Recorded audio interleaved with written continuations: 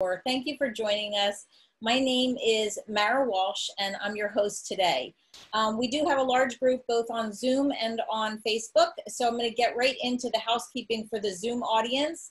If you are having trouble with audio, the best thing to do is attach a headset or earbuds. You'll hear us the best way from any device if you're on either Facebook or, or um, Zoom and having trouble with your audio. You could also turn up your computer audio or you can adjust the settings in the Zoom video or um, the Zoom audio settings to adjust that. Next, um, the screen. If you are having trouble seeing the actual slide screen as opposed to the, um, the, my video you if you're on a device you can swipe it to the left or the right and that will give you the slides. Or if you're on a computer there's a vertical bar between my video and the slides. If you just move the bar over closer to me you will see more of the actual presentation and less of the speaker. So those are two ways to be optimized to the best way for the presentation.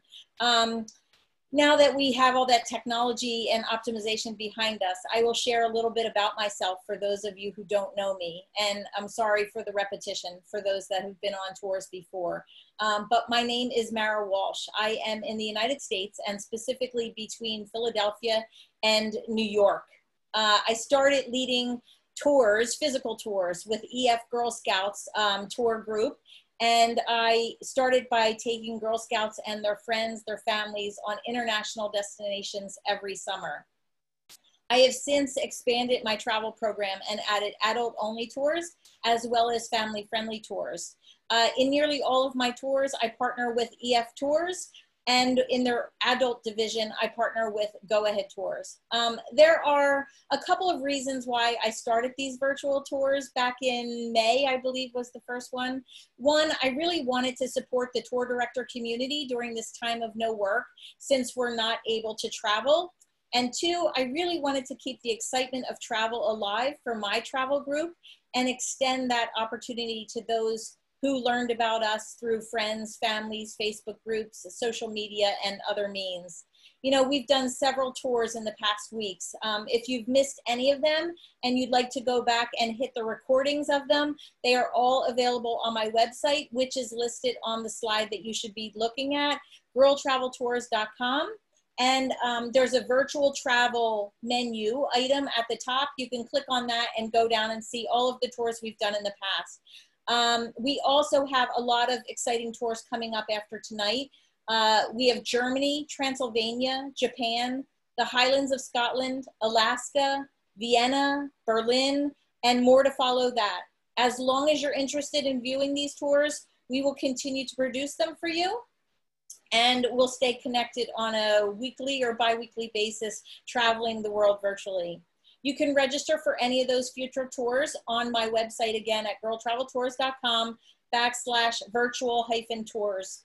I will put that in the chat once I'm done talking so that you have that link. Um, also, um, today we are not going to talk about the future tours anymore. We're going to be off to New Zealand. And this is going to be a great tour. But before we get going, I want to share with you a few ways that you can interact with us. One, feel free to ask questions about the tour and to the tour director using the Q&A mechanism. There's a little Q&A button at the bottom of your toolbar. Those questions will be read at the end and they will be addressed by the tour director. If you have a question or a comment for me, please put that in the chat and I will address as many as I can and try to get back to you with all of the answers. If you're on Facebook, I will be reviewing the messages as we go along as well. So I'll try to get to some of the questions on Facebook as well um, at the end of the tour. And I always like to add an interactive poll in the tour um, just to see what your connection is to this region. So I'm gonna launch that tour right now. And essentially it says, what is your connection to New Zealand? People on Facebook, feel free to put this in the comments. It's, I've been in love it. I have a trip booked. I plan to go in the future. I don't currently have any plans to go, but I'm interested. Or I'm solely interested in virtual travel. I'm going to give you a minute to add your comments and to vote on this poll. If you're in the Zoom link and you don't see the poll, you can click on the three dots on the bottom of your toolbar and, and click on poll and that should bring it up for you. Okay, so I'm gonna look at the, wow, so it's interesting. I, I, had a viewer ask me to add this option last week, and it really has um, proven to be a good option. Uh, the, the biggest percentage of people have no current plans to go, but are interested, which means this, this virtual tour could sway people to have a newfound interest in New Zealand. So there's, I'm going to end the poll and share the results so that you can see what I'm looking at. But essentially 36% uh, have have no current plans, but are, is are interested in New Zealand. Uh, many, 32% have plans to go in the future, and there's about 20% that have been in the past.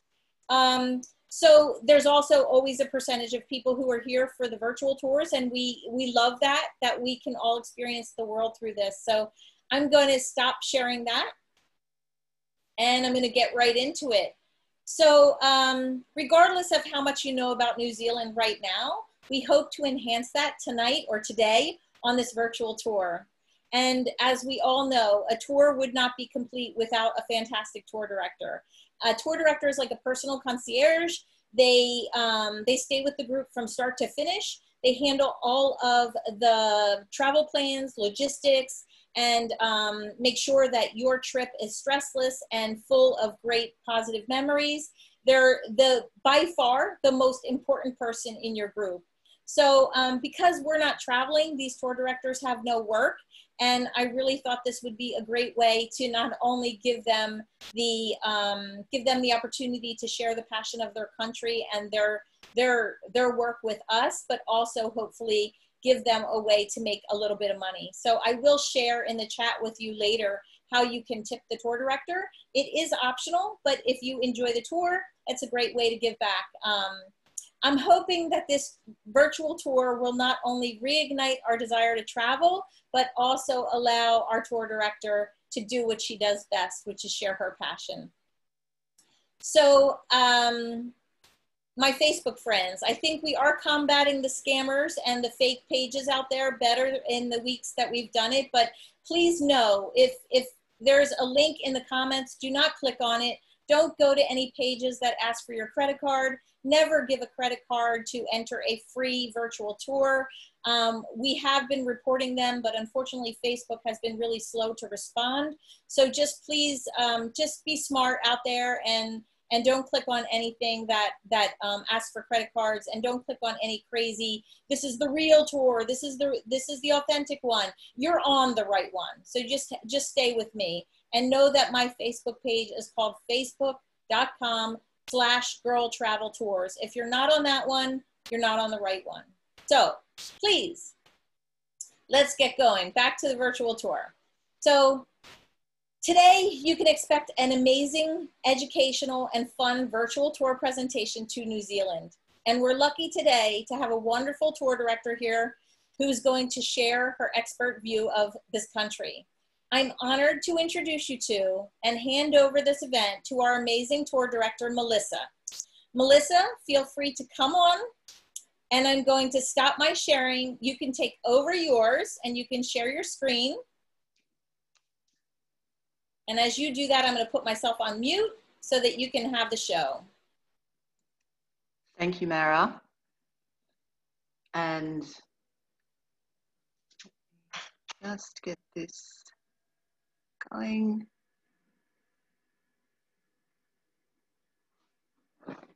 So kia ora, kia ora everyone. Nau mai, haere mai, and welcome to Aotearoa, New Zealand, the land of the long white cloud.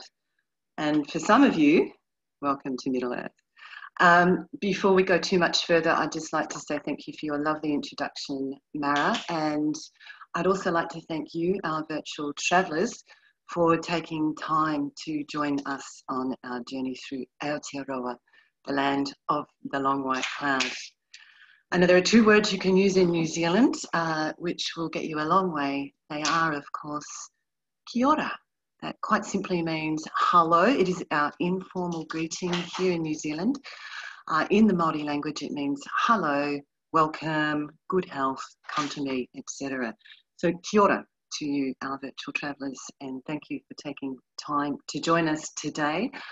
Uh, I'd also like to extend a very special thank you to Marah for making this possible. As she said, tour directors around the world are not working and we love our jobs.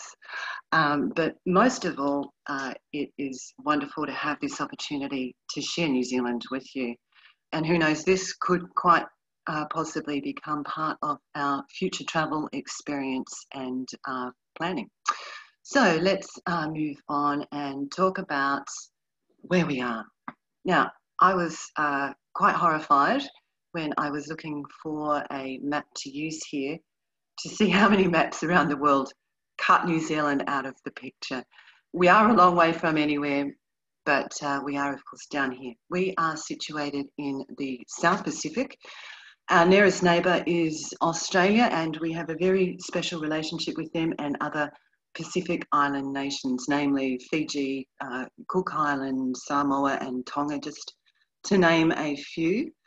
We're around about a 14 hour flight from the United States and at least that far from Europe. So, yes, shows dedication if you're coming down to New Zealand. Uh, we have a very temperate climate down here. Uh, we experience four definite seasons, and our weather is driven by the weather patterns in the Great Southern Ocean. Uh, we are also very strongly influenced by La Nina and El Nino, and this year is supposed to be a La Nina year, which means that's a quite a wet year. Now we sit at 35 to 48 degrees south of the equator, and we share this position with very few other countries actually in the southern hemisphere. The North Island is uh, similar to, in Australia, Canberra and Melbourne, in South Africa, uh, Cape Town, and in Chile, Santiago, whereas the South Island is much more like Tasmania in Australia and mid to South Patagonia, so uh, really very uh, uh, cool. We're also at the front of the international dateline, so for that reason, we of course are one of the first countries to see the new day. Let us uh, begin with a map of New Zealand. Now, I apologise, it's not in the perfect position, um, but most people, when they think of New Zealand, think of only two islands. You might be surprised to learn today that uh, New Zealand's actually made up of over 800 islands. Uh, our population is 5 million, and you would think that the majority of those people would be uh, spread evenly across the country, but in fact, uh, over 70% of our population live in the North Island, uh, with the remaining 30 spread through the South Island and, of course, the outlying islands I just mentioned. Now, um, we have a bit of a joke in New Zealand that although there's 5 million of us here, uh, there's about a million of us in other places in the world. Probably half of them are in Australia. Uh, but I digress. We'll move on from there. I just wanted to uh, show you uh, that New Zealand, uh, the lay of the land here. South Island is significantly larger than the North Island at around about 58,000 square miles. Um, the North Island is uh, 44,000 square miles or 100,000 square kilometres. Now, each of the um, islands is really defined by different features let's just talk a little about the special club that we belong to. However, before we get into that, uh, it, it is part of this. Uh, we sit on the Pacific Rim or the Ring of Fire. So it's a pretty special club to belong to. We share that membership with uh, Japan, Indonesia, and the west coasts of both South and, uh, sorry, um, North and South America. So the Ring of Fire is really where the edge of the Pacific plate is. The Earth's crust is um, made up of these different plates that move, and the Pacific plate is quite large. Now, New Zealand sits smack bang on the middle of uh, where that plate meets the Indo-Australasian plate. And um, those plates are constantly moving. So we get to enjoy that plate movement in the form of earthquakes and volcanic activity in New Zealand. Uh, it's also given us another name, which you might not be familiar with. We are also known as the Shaky Isles. We have an average of about two and a half thousand earthquakes per year. Right, uh, just I've included this diagram to show you what's going on underfoot. Uh, this is uh, on the left-hand side, something called subduction. Now, subduction is just a fancy word for plate movement. What is happening is the Australasian plate is heading under, sorry, the Pacific plate is heading underneath the Indo-Australian plate. And what we see that how that manifests in uh, reality is that the North Island is stretching out, giving us a geothermal activity, and the South Island is having the Southern Alps, which are being uplifted by this plate movement. Uh, the diagram on the right hand side I have included to demonstrate the uh, fault line and exactly where it runs in the country. Right, we're just going to move to our next slide. Now,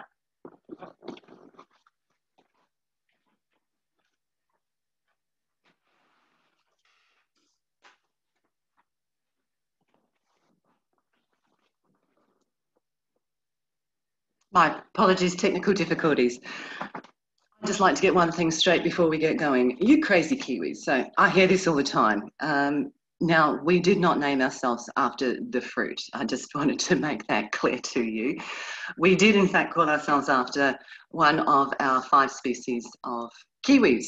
These are ground dwelling birds uh, in New Zealand, and the name comes from its call uh, Maori, uh, our native people, observed the Kiwis call, and quite simply, that's where the word comes from.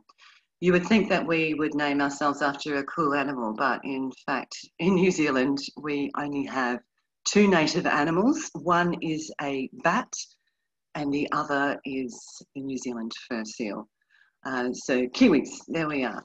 Now, I wanted to talk a little bit about our journey because we are going to start in Auckland Auckland is the largest city in New Zealand, and the reason I've chosen Auckland to begin is because a lot of people coming from international destinations will fly into Auckland. It's a great place to stop and to start your journey.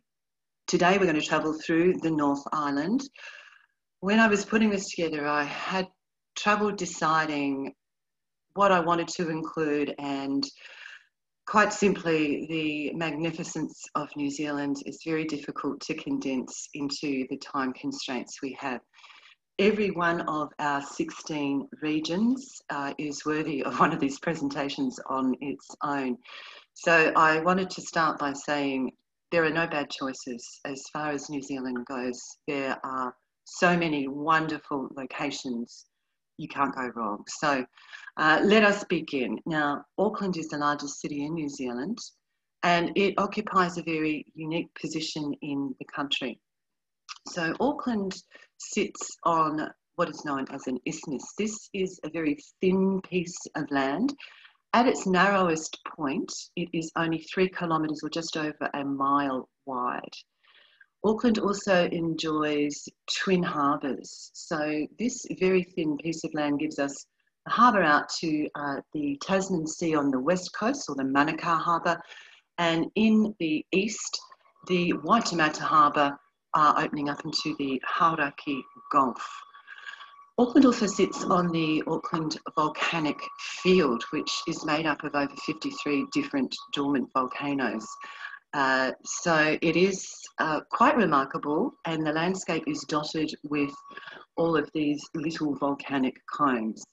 Now, it made it a very desirable location both for Europeans and for early Māori coming into the uh, country.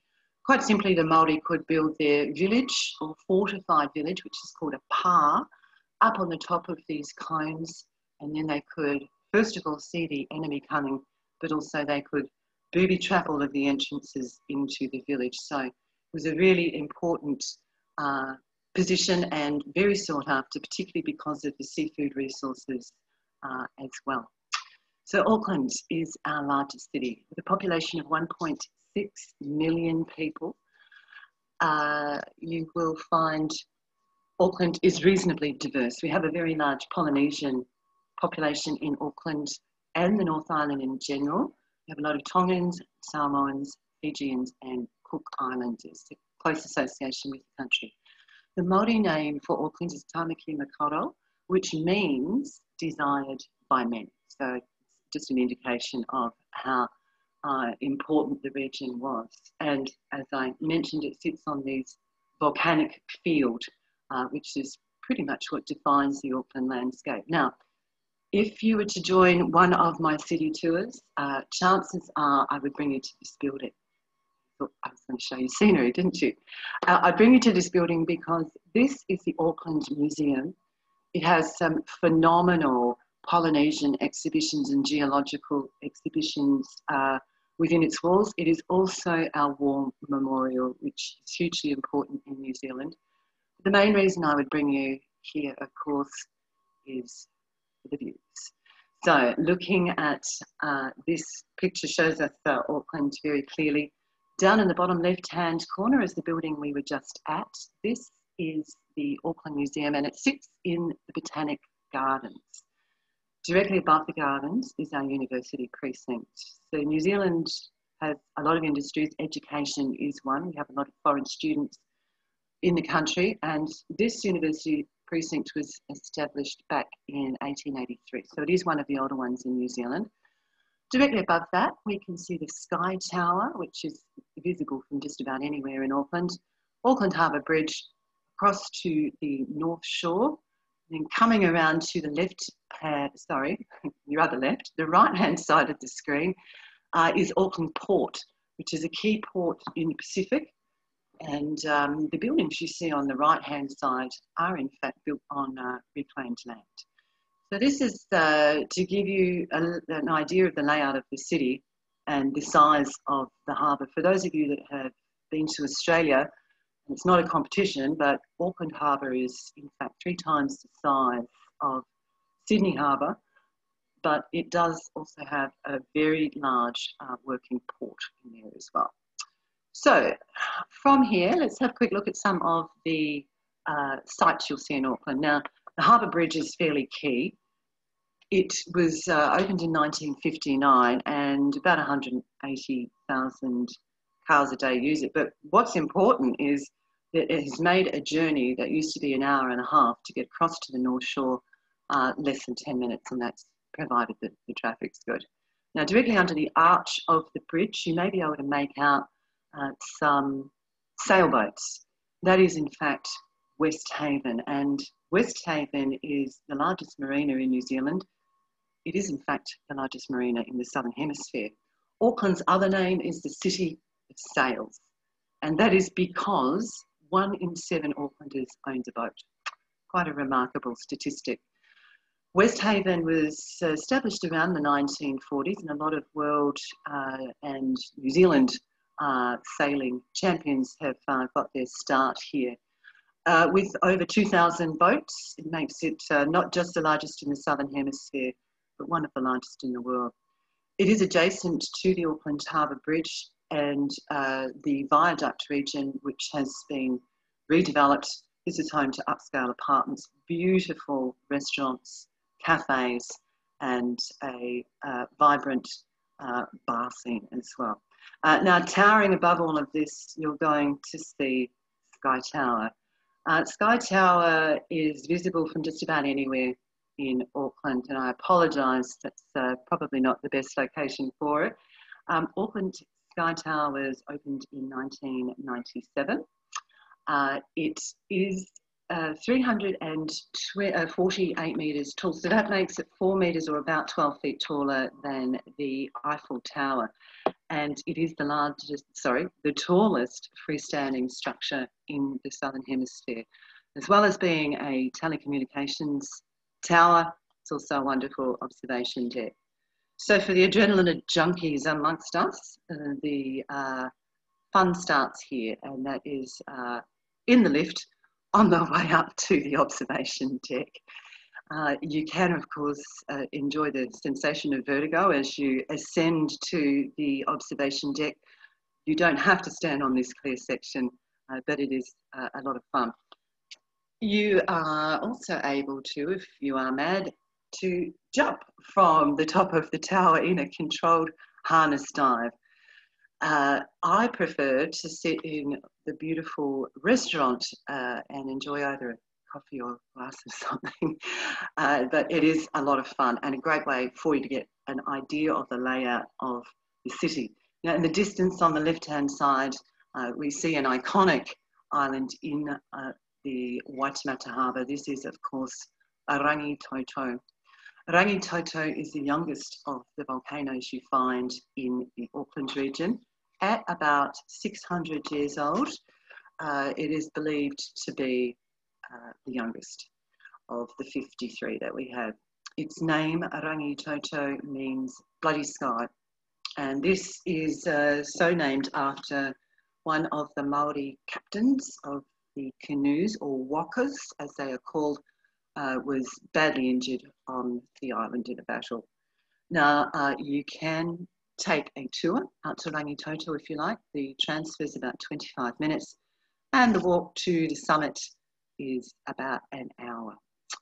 Or if you like, you can stay close to Auckland City and take a ferry across to the charming little seaside town of Devonport. Devonport is known for its beautiful, quirky little shops as well as fantastic cafes and food, uh, and uh, incredible views and uh, beautiful nature walks. And just as a bit of trivia, our, um, I hope, famous songstress Lorde. she grew up here in Devonport. Now, these are the beaches to the north of Auckland. I just wanted to show you that you really don't have to go far. There's magnificence everywhere around the city and it's not far away. This is probably my number one pick for uh, a visit to Auckland. It is Waiheke Island. Now, Waiheke means island of trickling water. Wai, the word wai, W-A-I, in the Māori language means water. And you'll see that featured throughout um, the presentation today. So uh, Waiheke Island is home to about 9,000 permanent residents and it's only a 45 minute ferry ride from Auckland Harbour. So from the moment you arrive into Waiheke, it is pure magic. Uh, now, and forgive me if you are from there, but in the 1960s and 70s, a lot of the hippies arrived to the island and planted both grapes and olives. So as a result, we have this incredible area that has very well established olive groves, but also is renowned for producing um, Cabernet Sauvignons, Merlots, Chardonnays, and Pinot Gris. So from the moment you arrive, the magic begins. You can take a wine tour if you like. You can indulge in one of the ploughman lunches that will include things like oysters. The local oysters are superb. Uh, cheese, we have a lot of dairy obviously in the region, of course a bit of wine and uh, olives. At 45 minutes away from Auckland, this is a highly desirable location.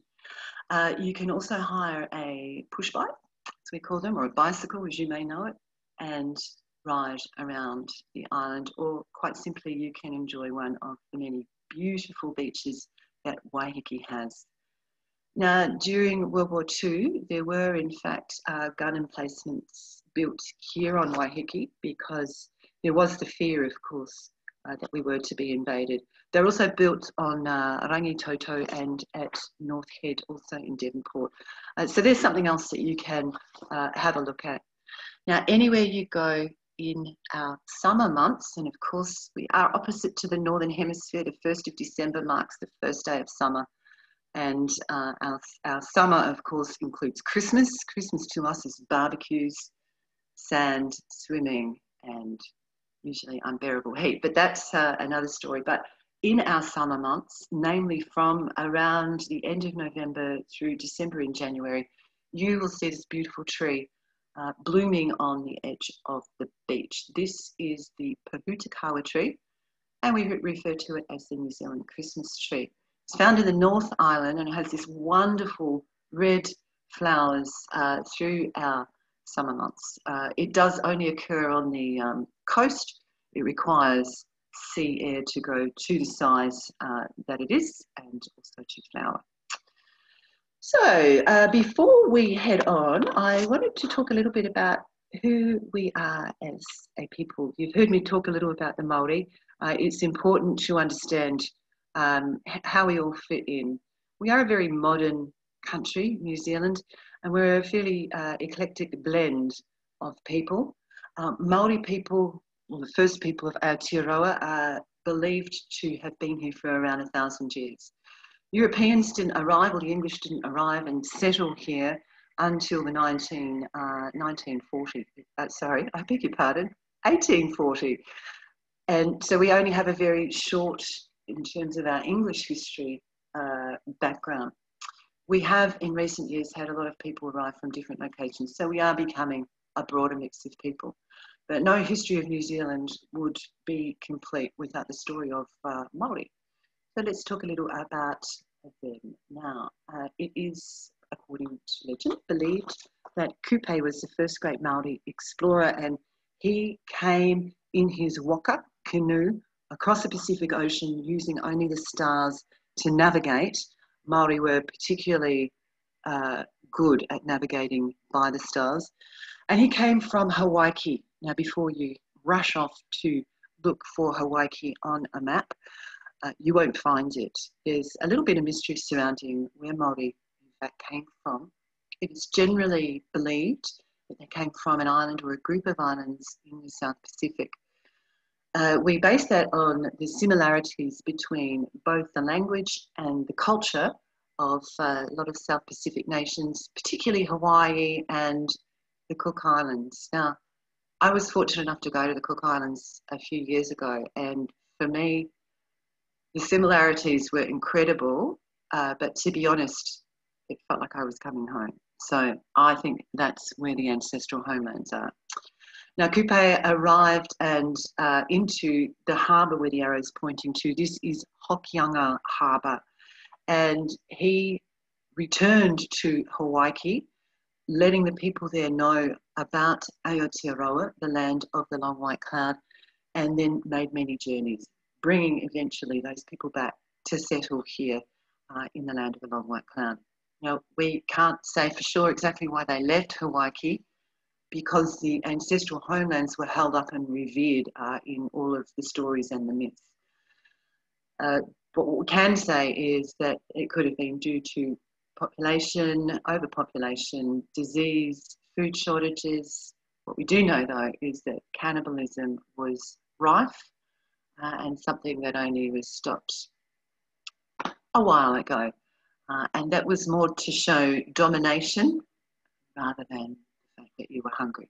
So, uh, with that out of the way, I thought you might be interested uh, to do, and that is brief. We could talk about Maori culture for uh, hours and hours.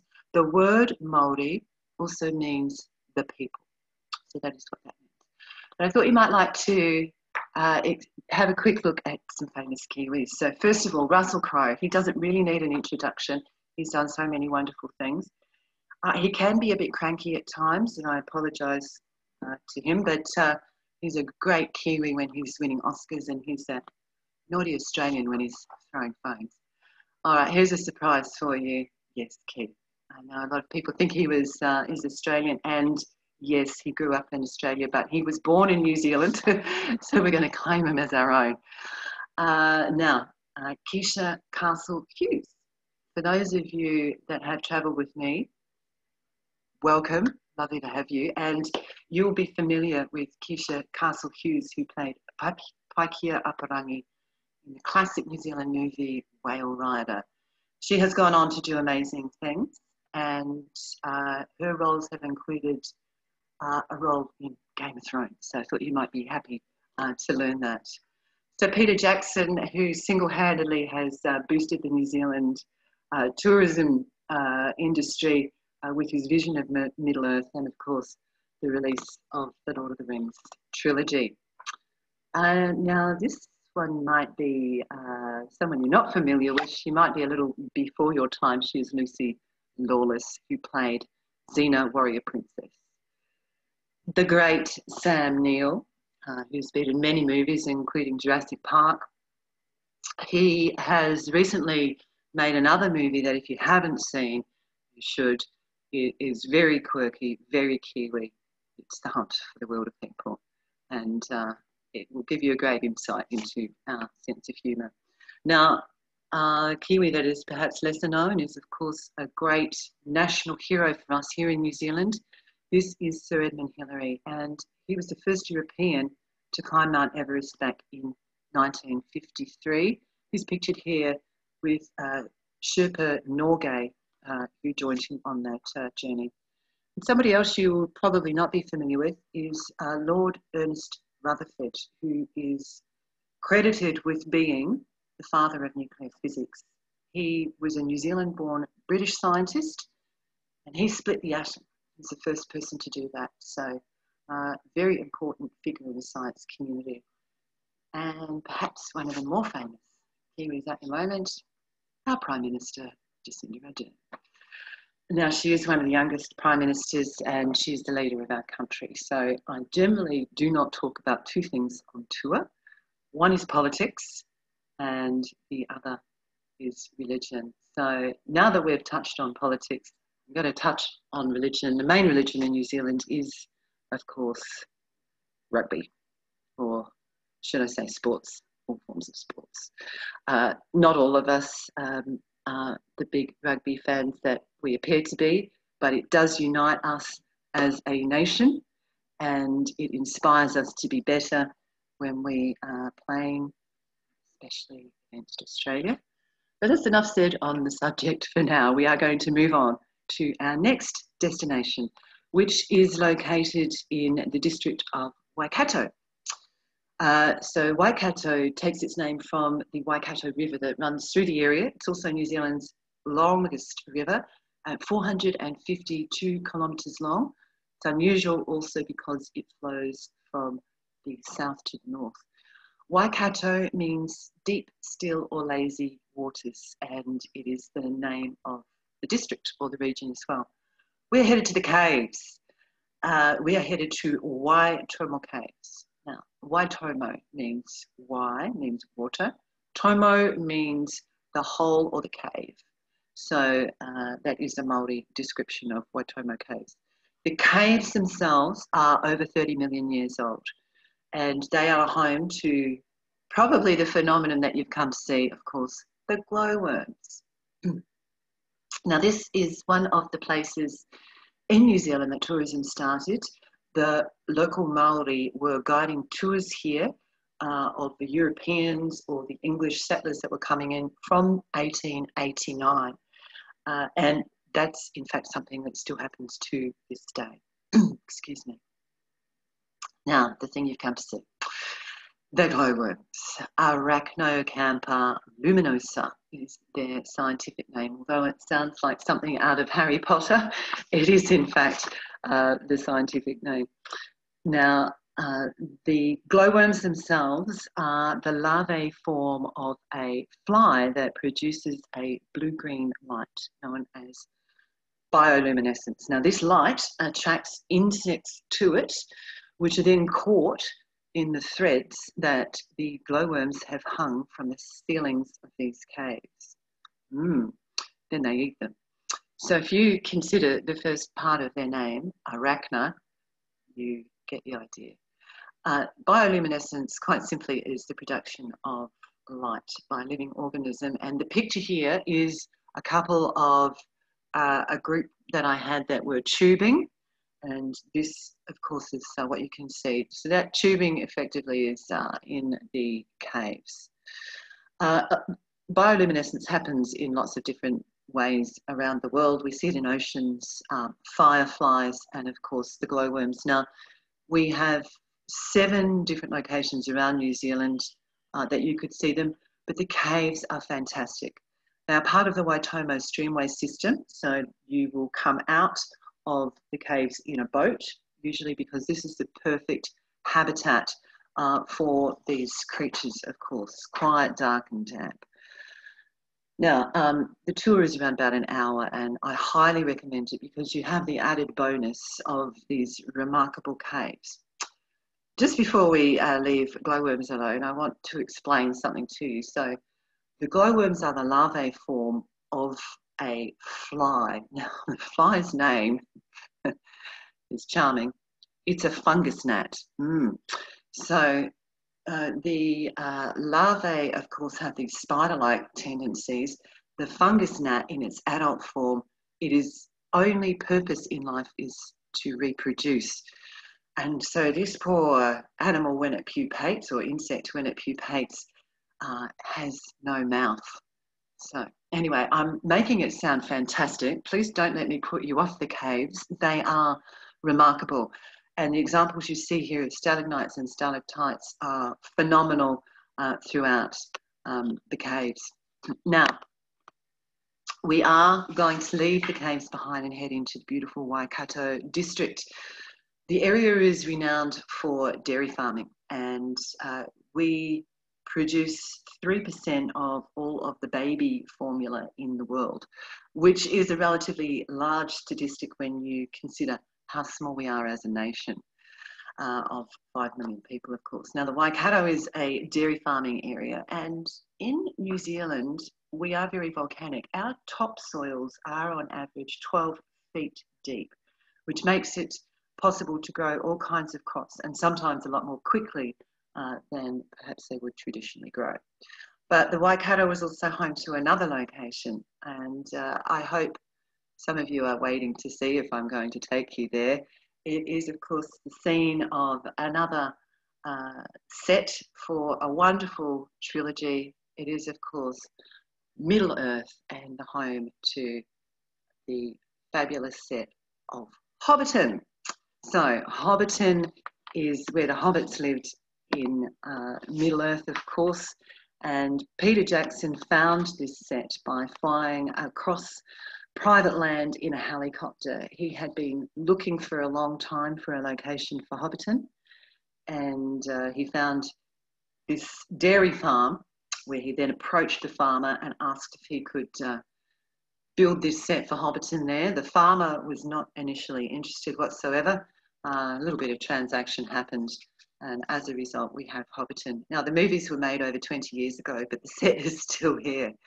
It was due to be bulldozed uh, shortly after the films had finished being made, uh, but some bright spark uh, realised that there was perhaps money to be made, and uh, they've managed to stop that from happening.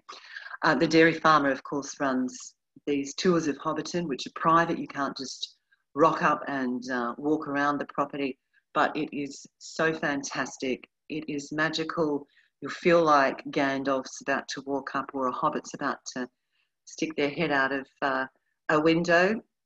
I apologise to those of you who are not Lord of the Rings fans. I think it's fairly obvious that I am. Uh, this is one of my favourite places uh, to go. Now, the success in the set was, of course, the devil in the detail. They planted these sets around 18 months prior to the movie being filmed, and of course, that led to the authenticity. The detail's incredible. When you start looking at some of the pictures, you can see the village notice board and the fire, um, wood chopped over here. It is uh, truly fantastic. The old mill has been rebuilt and recreated, but uh, the tours all go through the Green Dragon. And for the die-hard Lord of the Rings fans, I can see you rubbing your hands together with uh, glee.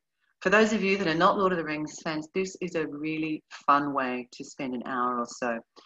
Uh, it is located just outside of the town of Matamata and it's a day trip from Auckland or a half day trip from Rotorua. Now, you would, of course, uh, have to have a little beverage in the Green Dragon. Chances are you're not going to want to leave. But unfortunately, we have to move on. And I'm going to also take this opportunity to say to everybody that New Zealand is full of so many magnificent places. I apologise to those of you who are hoping that I'm going to go somewhere and I miss it. I quite simply am unable to fit everything that I would have liked to into our presentation today. We're now headed to Lake Rotorua. So Rotorua is uh, across from the Waikato in what's known as the Rotorua Lakes District or the Bay of Plenty. This is also the area that Kupe came into when that migration happened over a thousand years ago. So, Rotorua. Now, I apologise for the clarity of this picture. I have included this for a specific reason. Uh, the name, quite simply means second lake or second body of water. It was when the Te Arawa people came into the region, the second lake they encountered. So, the reason I've included this photograph is because Rotorua sits in the caldera of an old volcano. And I think the picture of the lake clearly demonstrates this uh, for us. In the middle, we see Mokoia Island, which is the old volcanic plug. When the last eruption happened, the magma or lava would have hardened, forming what's known as a volcanic plug. Eventually, this would have had birds and whatnot landing on it, uh, bringing seeds, and it would have been covered in vegetation. Uh, the lake is only 63 kilometres around, uh, and Rotorua itself is home to 65,000 people. The lake is super shallow, uh, but um, it's not the lake that, that would be commonly be used in the Rotorua district by um, the people. Now, I have chosen to spend a little bit of time here in Rotorua because there are a lot of things to do, but also this is where there's a lot of geothermal activity. And uh, of course, the geothermal activity really defines this region. So, Rotorua is a very beautiful town. Uh, you could call it a city, but it's still quite small, right on the edge of the lake. What you can see here are the government gardens. So, some older buildings which have served many purposes over the years, but very splendid flower gardens, rose gardens, and native gardens, as well as the top two pictures are blue baths, which are the old original bathhouses for Rotorua. So the area is home to a remarkable resource. This is geothermal uh, uh, power, but it's the water that's created. So in this region, when it rains, the rain will percolate down through the soil and it will eventually hit those hotter layers of the Earth's crust, which are closer to the surface in our region, and they'll start to heat up. Now, as they heat up, they will start to rise, just like hot air, and they will also gather or take into solution a lot of minerals you'll find uh, in abundance in the Rotorua uh, region, namely silica and sulfur.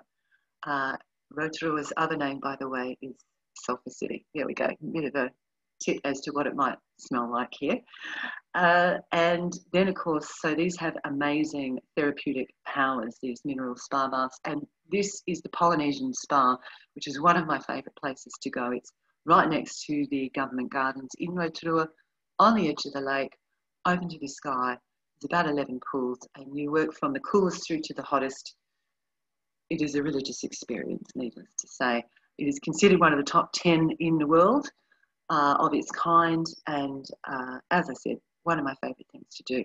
Now, towering above all of Rotorua in the distance is Mount Tarawera. So, Tarawera is responsible for one of the largest eruptions in living uh, New Zealand memory. Back in 1886, Mount Tarawera erupted and buried what was then considered to be one of the great wonders of the world. Now, we do rely on artist's rendition uh, and very old photographs to see these, they were the pink and white terraces. Te Otu Kapuarangi and Te Tarata. So pink and white terraces. These are the result of thousands and thousands of years of mineral water with silica in solution running over these terraces and depositing that. Uh, the terraces were supposed to be incredible to view.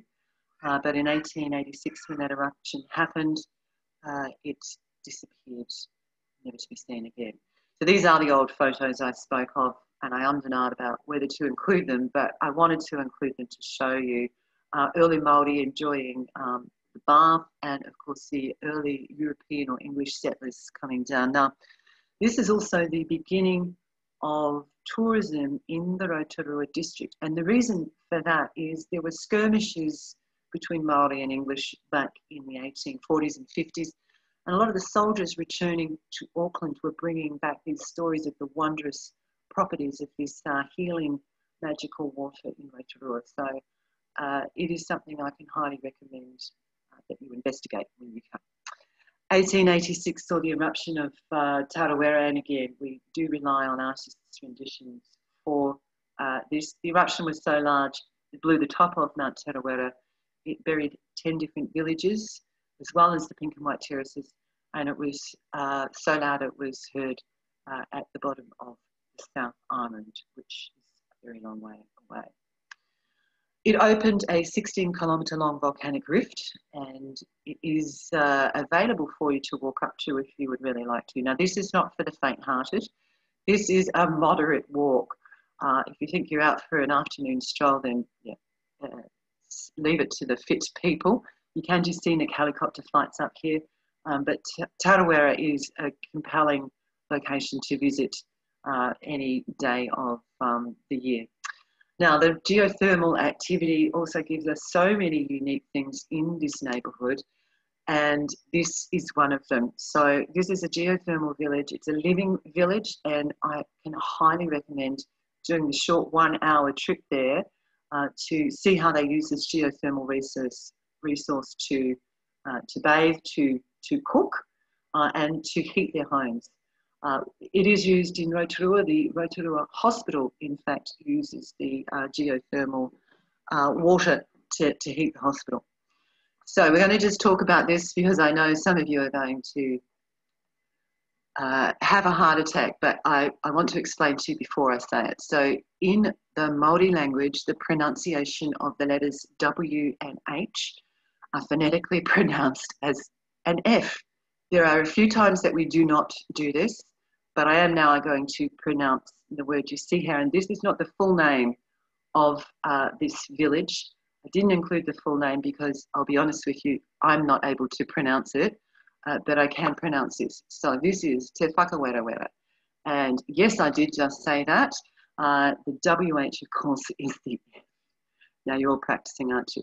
Uh, there are sometimes we don't do that, and uh, here you can see the short version of what we call this village we don't use the F here. And I know some of you have now just practiced and now you know why we don't use the, uh, the WH as an F.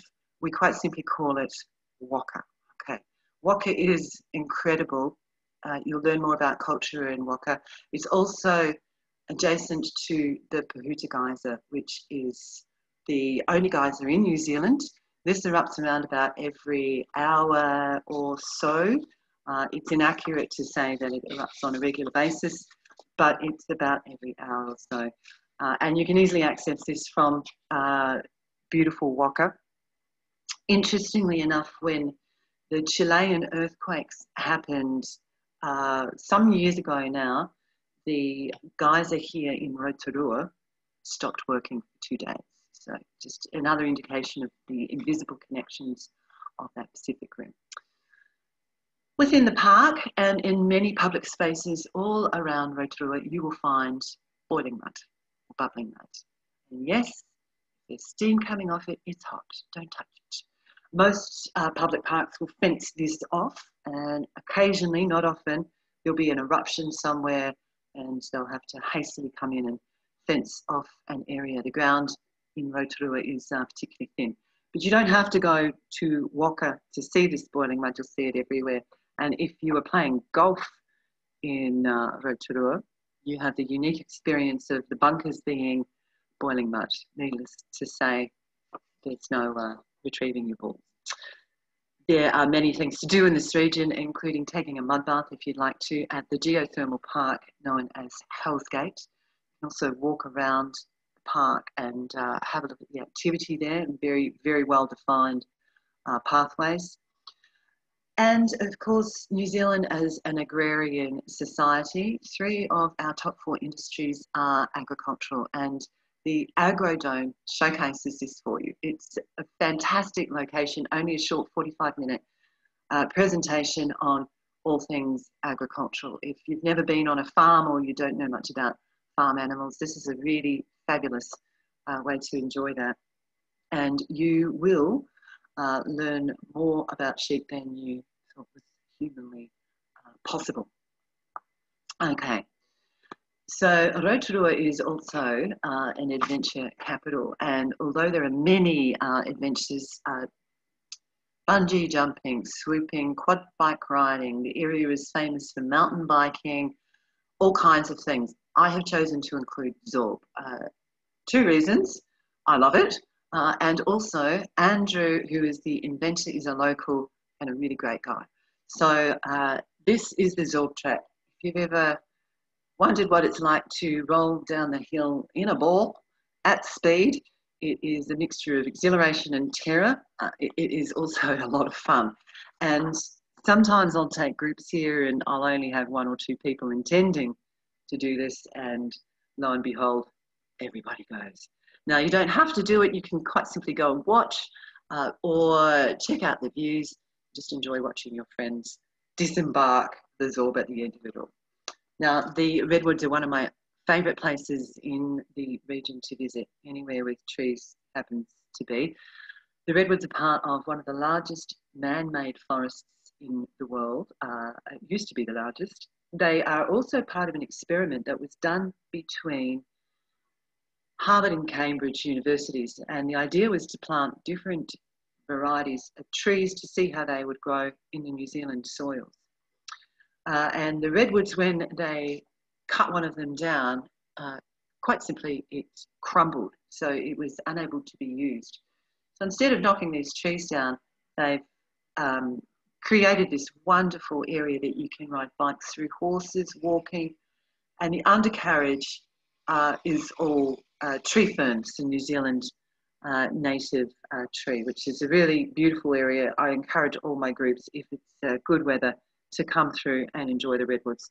They've also put in a fantastic walkway, which is, um, I beg your pardon, is about midway up the trees and you can really get to see them up close. It's a self-guided walk. You can also do it at night time. They have these wonderful light installations which really make it a, a special experience. So from if you're in Rotorua, uh, no doubt you will go to a hangi. So a hangi is a traditional Maori feast. It's cooked in the ground in the Rotorua region using the geothermal resources there. In other parts of the country with no geothermal, we will use hot stones that have been heated in a fire.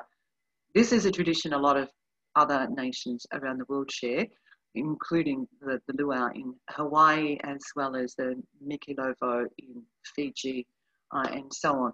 And a hangi uh, would have uh, chicken, lamb, uh, kumara, which is sweet potato for us. Uh, fish, seafood, of course, are all very popular. Now, pre-European Māori wouldn't have had lamb or chicken on there. It would have been the birds and the seafood, of course.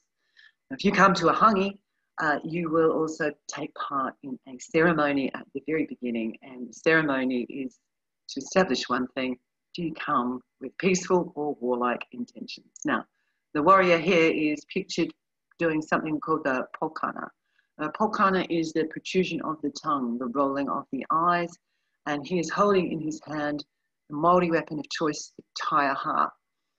Um, the ceremony would involve a warrior laying down a token, usually a fern or a branch, and the visitor picking it up, showing they come with peaceful intentions. I've never been to one that we didn't go with peaceful intentions. So uh, chances are too, oh, I don't know how that slipped in there. I apologise that you'll also see the haka, uh, which is being performed here by the mighty All Blacks led by the great Richie McCaw. But I digress. The haka is the Maori posture war dance and it was traditionally performed by Maori warriors going into battle to psych themselves up as well as uh, frighten or intimidate the enemy. The idea was uh, they would be was so fierce and frightening that perhaps the enemy would run away and the battle wouldn't have to be fought. Uh, picture, if you can, 500 of these warriors stamping their feet, the dust rising around them, the tongue sticking out, and the guttural sounds coming from them. I know I'd run away, but I don't believe that was uh, the outcome on most occasions. Um, but the haka is only performed by men.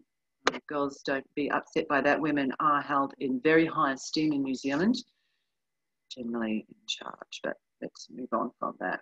Now, the haka is uh, taught in schools. You can see the boys doing it here, businessmen, sporting events everywhere, of course. Uh, we just had a huge uh, rugby game recently two days ago, Bledisloe, between Australia and New Zealand, and that is also where you would see the haka being performed by All Blacks. The idea, of course, is to psych out the opposition.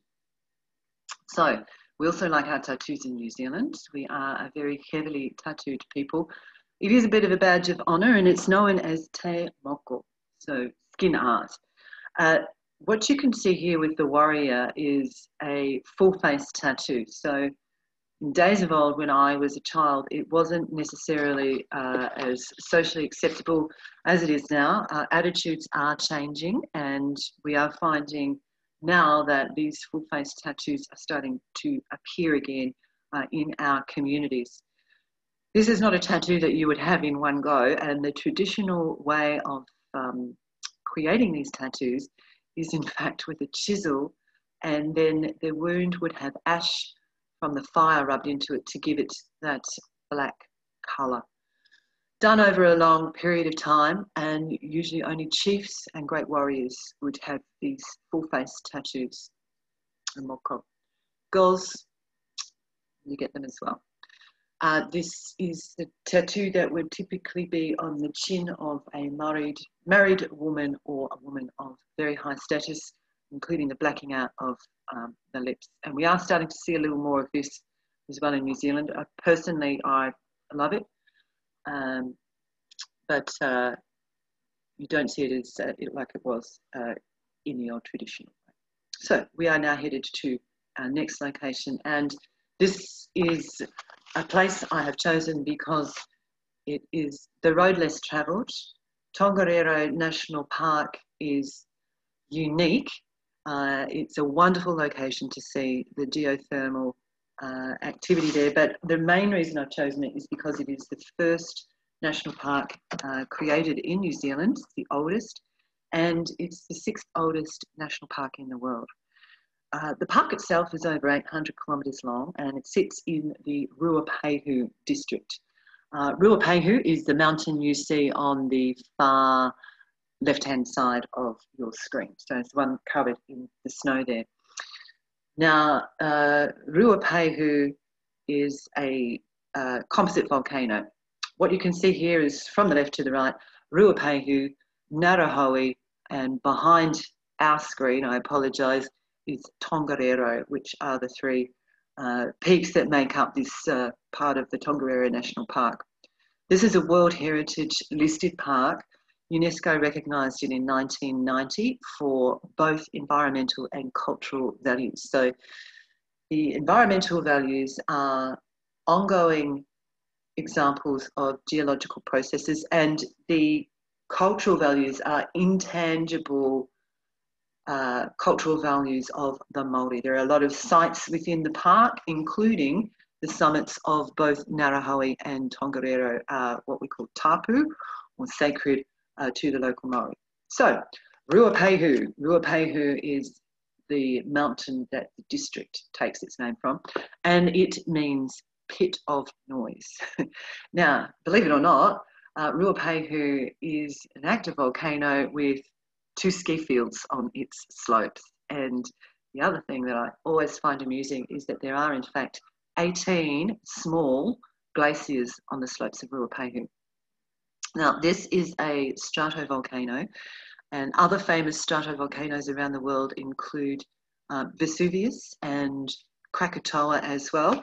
Uh, but Ruapehu is home to the village, and you're going to hear another word, and I'm going to just say it, Whakapapa uh, is the village you'll find on the slopes here. There are so many wonderful walks you can do around Mount Ruapehu.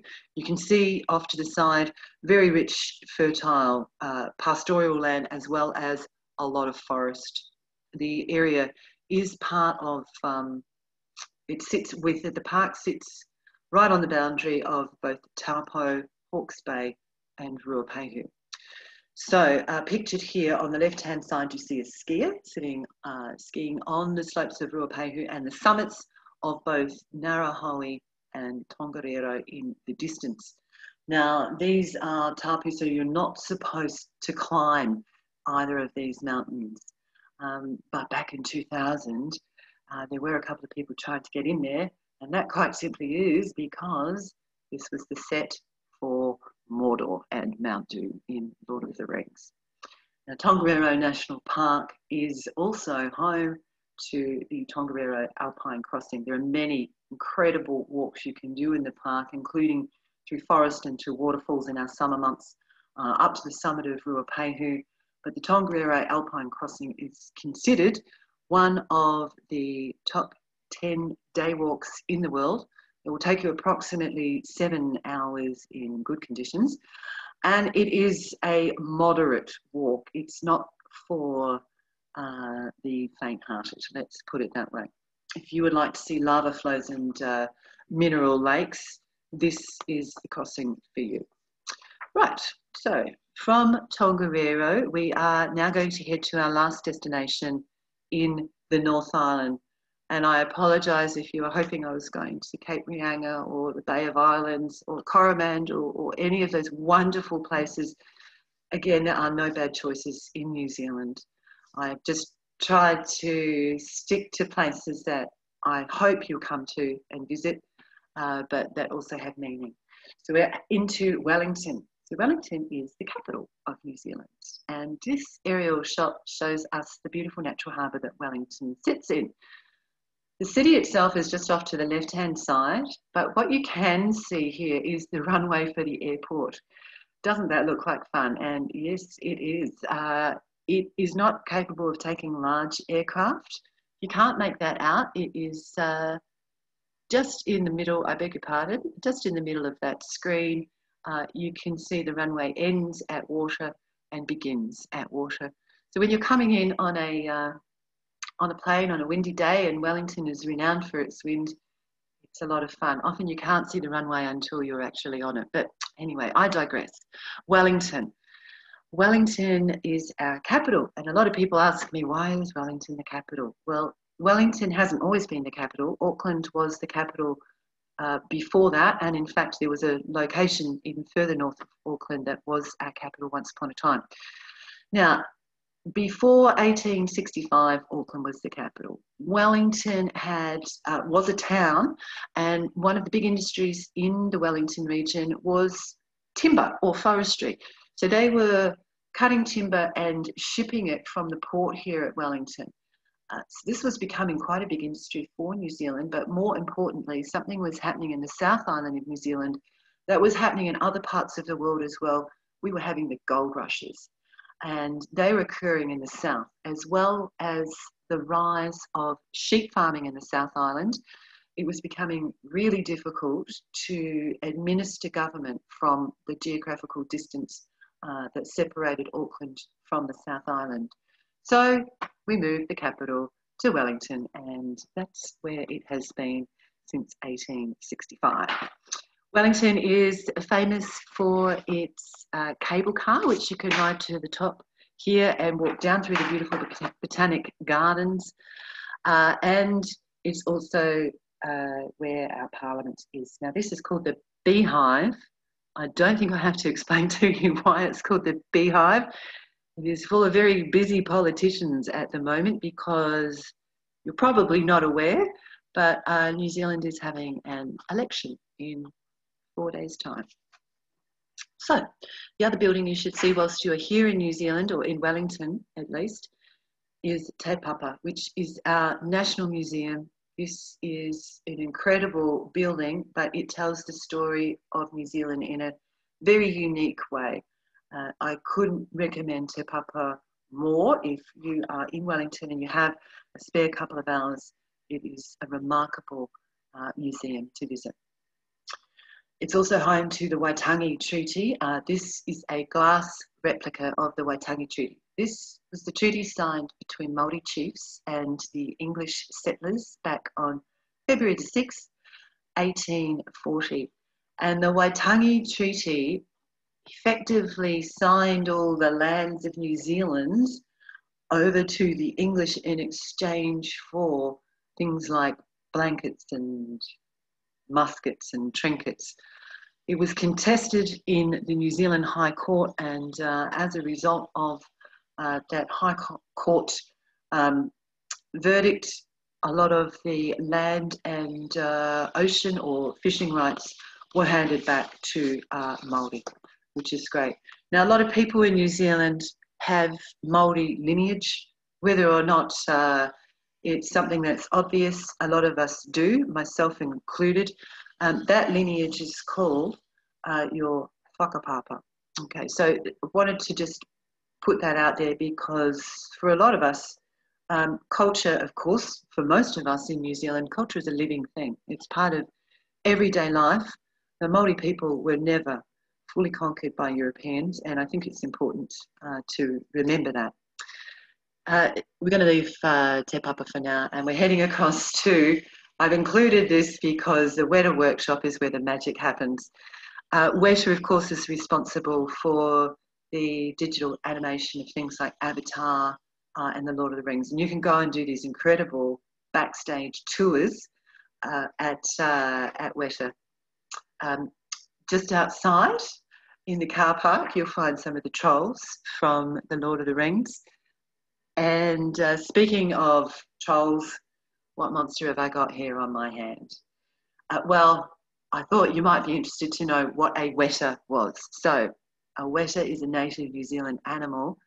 Uh, we do, there are other countries in the world that have them, but we share the honour of um, this being. We don't have many animals, but we've got this giant insect. It is, in fact, one of the largest in the world. It weighs in at uh, around about two and a half ounces or one kilo, and sometimes has been known to outweigh a mouse. Um, fossils tell us that wetas have been around for over 180 million years. So that is quite remarkable. Single handedly, in the last 200 years or so, uh, we, of course, introduced rats, and the rats are hunting them, so they have become endangered. Now, the name Weta means god of ugly things in Maori, and I think that's a little bit mean. Um, but before you do feel sorry for them, they can jump. They are enormous, as you can see in the picture. I'm not terribly scared of them. I can pick them up and move them, but they don't like you to touch them. Um, they have ears on their knees, and they breathe through their exoskeleton. They have a unique adaptation. Our cave and alpine wetas are able to survive in the winter by freezing completely solid and then in springtime, they thaw out and continue on around their business. So, uh, remarkable and very unusual insects. And that is the weta. And on that uh, charming note, we are headed to one of the greatest places in the world. You can tell on a South Islander it is Te Waipounamu, land of greenstone water, or the mainland, as we South Islanders call it. Now, to get there, you would take the uh, Cook Strait Inter-Islander ferry across, across Cook Strait, uh, which is one of the most treacherous pieces of uh, water in the world. I wish for your crossing uh, that it is a calm day. It is between three to four hours to get across to the little town of Picton, which is where you either disembark or embark for your ferry crossing. Before we do, however, I wanted to give you an idea about um, the South Island. So this um, satellite photo shows us very clearly the southern alpine fault line. So from the bottom of the west coast of the South Island, running all the way up, so this is the left-hand side of the island, you can see a black line. This is the alpine fault line. This is where the plates, in fact, uh, meet. And on the uh, opposite side, the green area you see there are the Canterbury Plains. So uh, this is a very large, 100 uh, miles by 40 miles uh, wide uh, farming area. And of course, this is also where Christchurch is.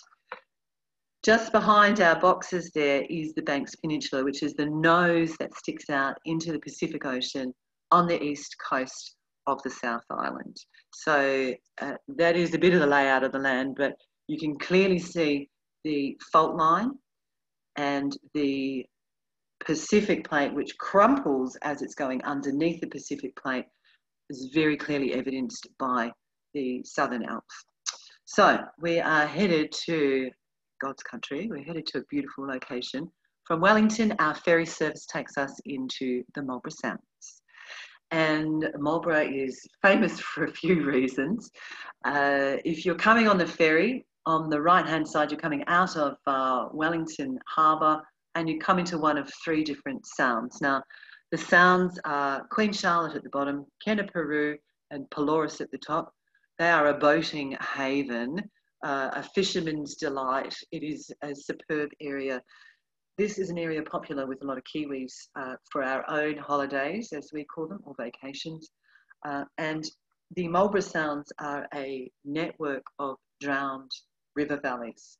They provide us with about 1,500 kilometres of coastline. So you can see why this would be a popular location to come to, as well as being home to the Marlborough region, one of our famous wine growing areas.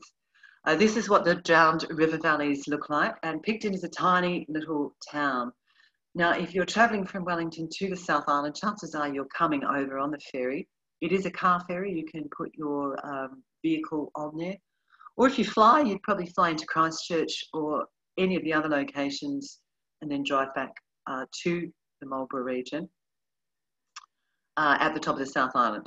So yes, it is our premier growing area for Sauvignon Blanc. The area is famous for the production of Sauv Blanc, but also uh, very famous for seafood in the area. Because of our temperate climate and our soils are perfect for producing uh, this variety of wine and to be honest, you could spend your entire trip here in the, in the Marlborough region. Uh, but we're not going to. It is a delight. Uh, fantastic local produce. The wine cellar door tours are fantastic. And of course, the beautiful scenery. Uh, pictured here is, is, I beg your pardon, is Wither Hills Estate. And I do want to stop here because the other estates that you might visit are Cloudy Bay uh, or Villa Maria uh, or Yealand. There are many in the neighbourhood. This is a very typical New Zealand style uh, for the winery using the local stone there. But I have included this next map for the wine, uh, the wine lovers amongst us. Uh, it shows you all of the different wine regions in New Zealand. And as you can see, there are plenty. Chances are, wherever you go, there will be somewhere uh, that you can uh, sample one of the various varieties uh, that we grow here. I think it's our 11th largest export here in New Zealand is wine. Now, adjacent to the Marlborough region is this little park, and I've included this little park for one reason.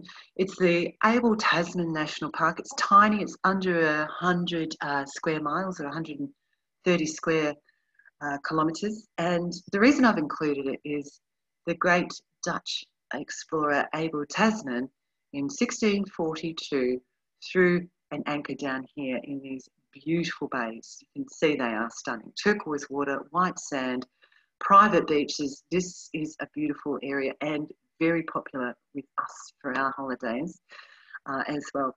But Abel Tasman had the intention of exploring New Zealand and he did not have a very good time with the local Maori. In fact, some of his landing party were killed and he sailed away, leaving us with only one thing, and that is our name. He grew up uh, close to an area known as Zealand and gave us the name New Zealand. That, that's where it comes from.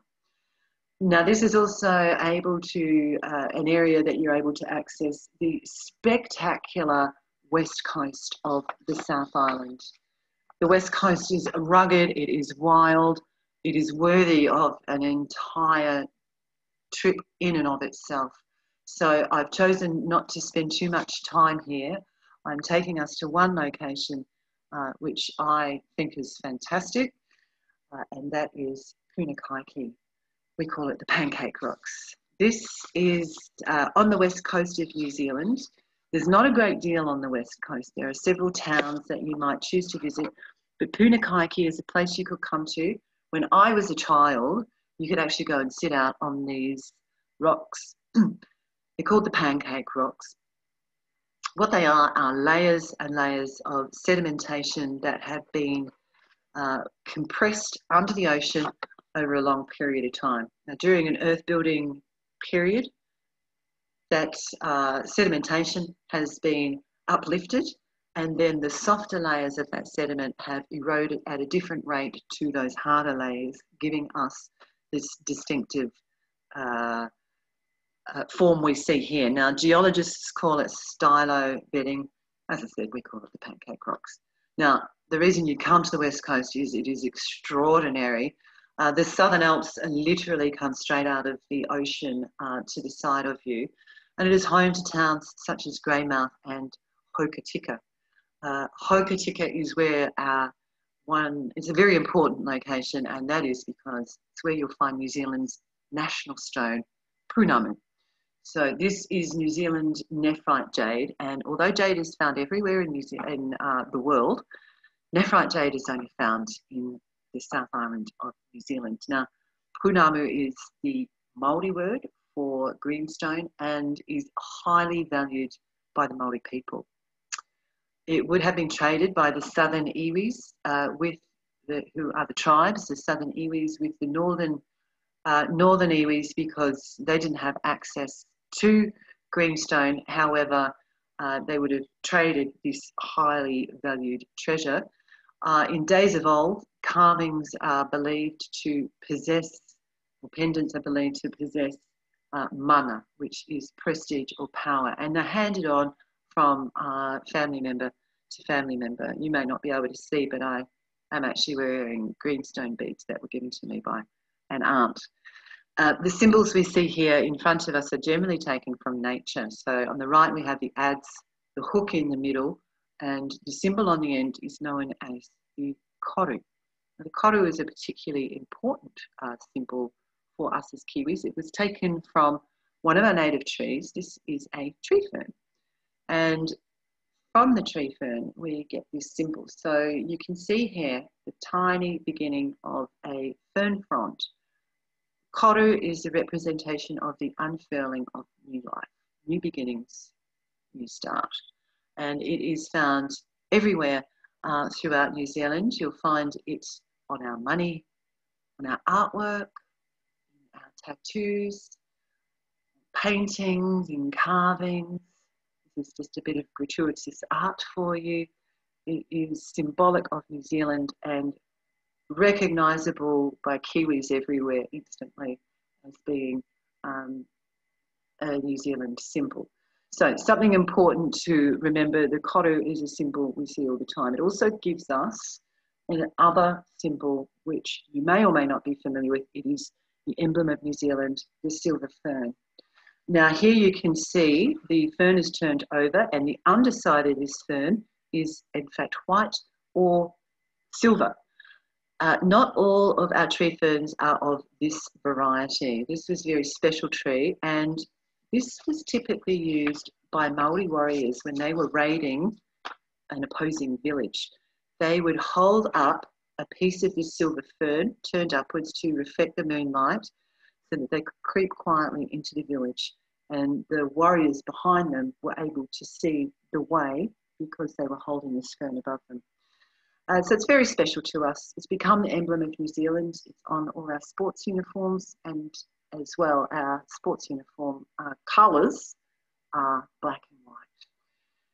We like it so much it's even on our planes.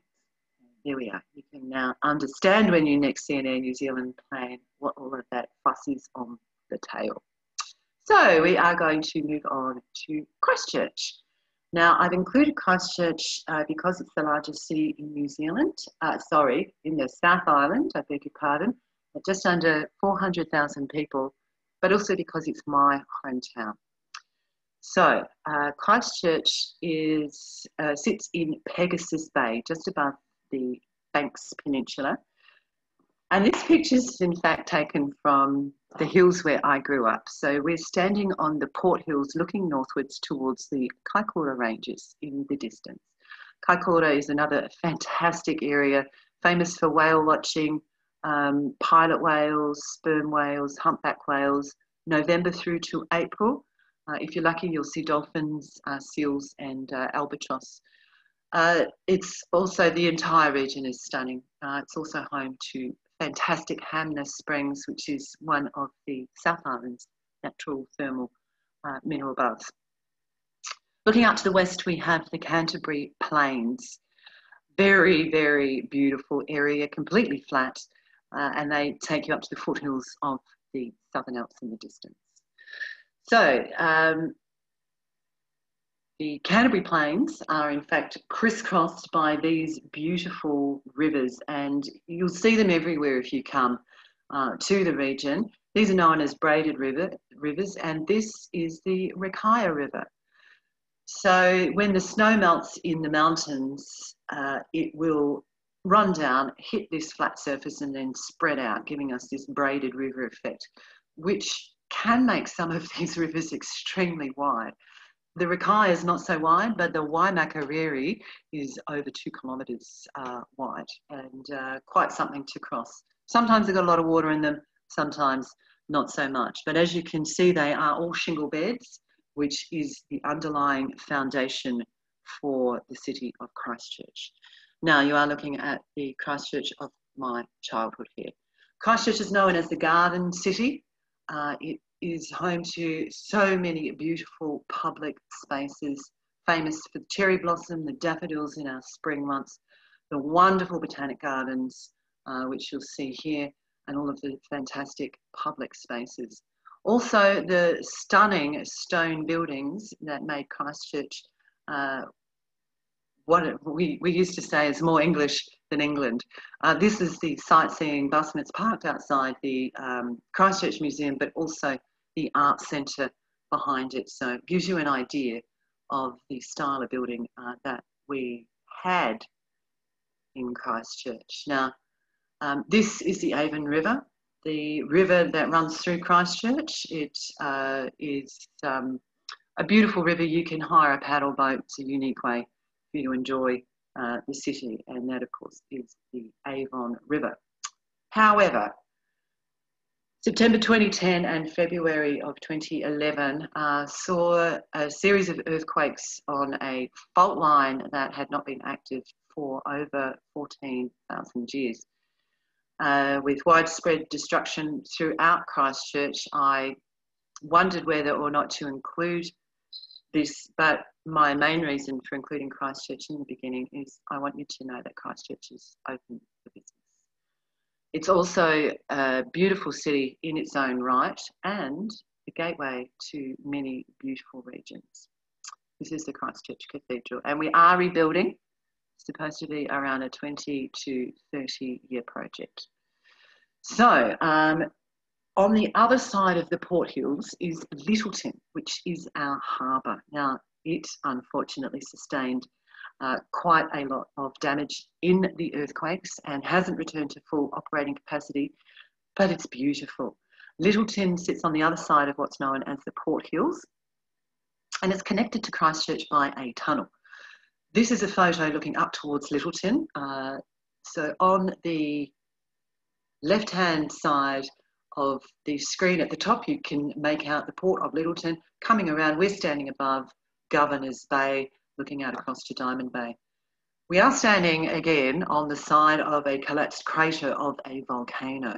Uh, the Banks Peninsula, the entire Banks Peninsula, once upon a time was exactly that, a uh, volcano. This is a boatie's haven and uh, the beaches are superb, amazing local produce. Um, the area has incredible uh, cafes, has a bit of an art scene, and it's only half an hour away from Christchurch. I've included this shot of the Banks Peninsula just to give you an idea of uh, what it looks like from a satellite, from the sky. Christchurch appears just at the very top on the right hand side of this slide, and the small harbour that you see at the very top there is Lyttelton Harbour, where we've just been. What I'd like to point out though is the huge natural harbour that you see in the bottom left hand side. Uh, this is beautiful Akaroa. And Akaroa is the French settlement in New Zealand.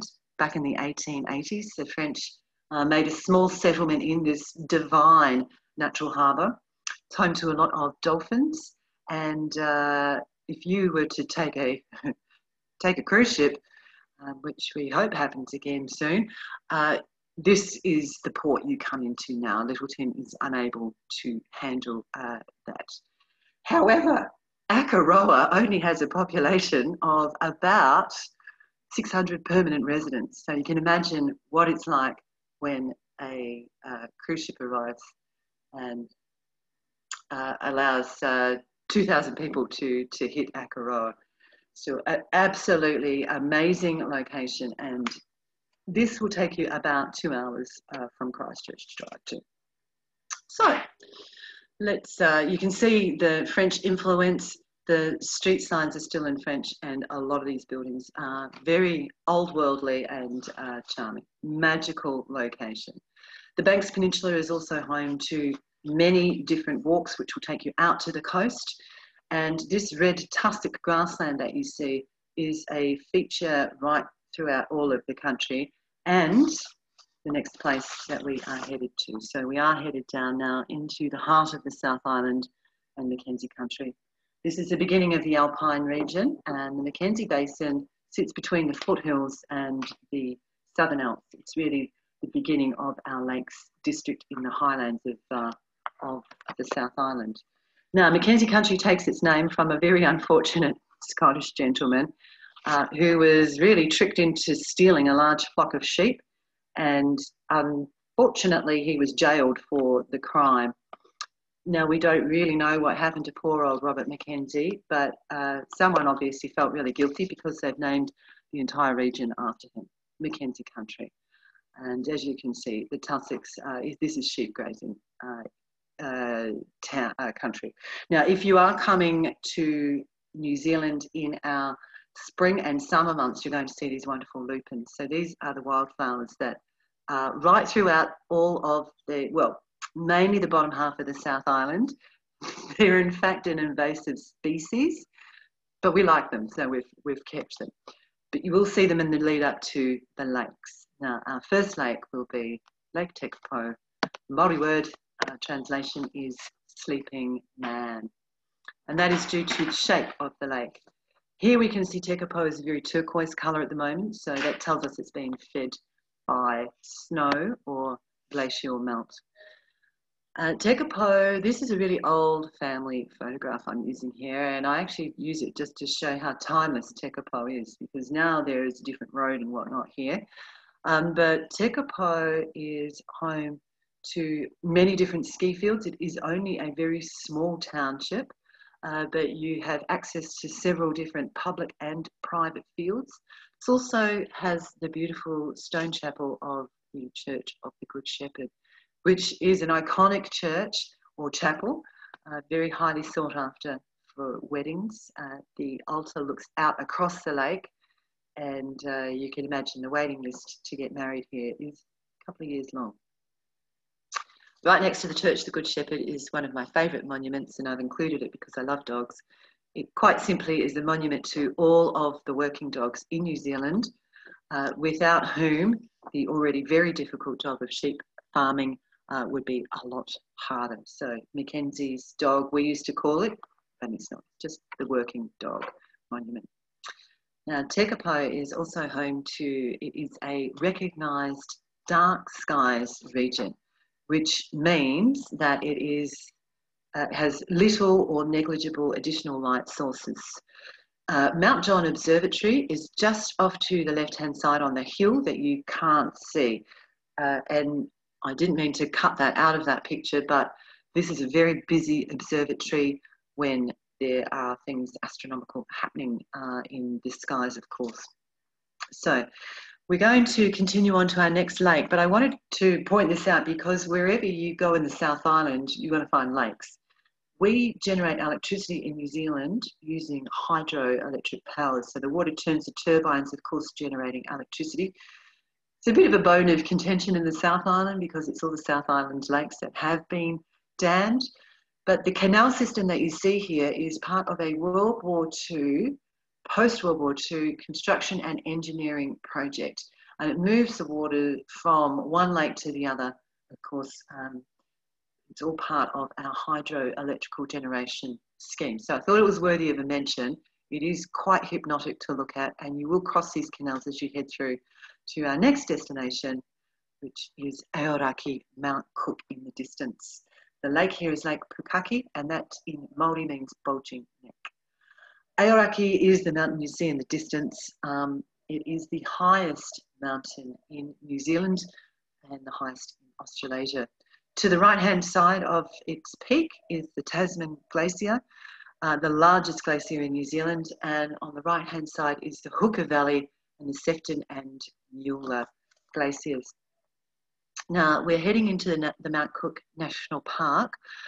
Aoraki is one of my favourite places. I was fortunate enough to live here for a couple of years and uh, I've included it really for that reason only.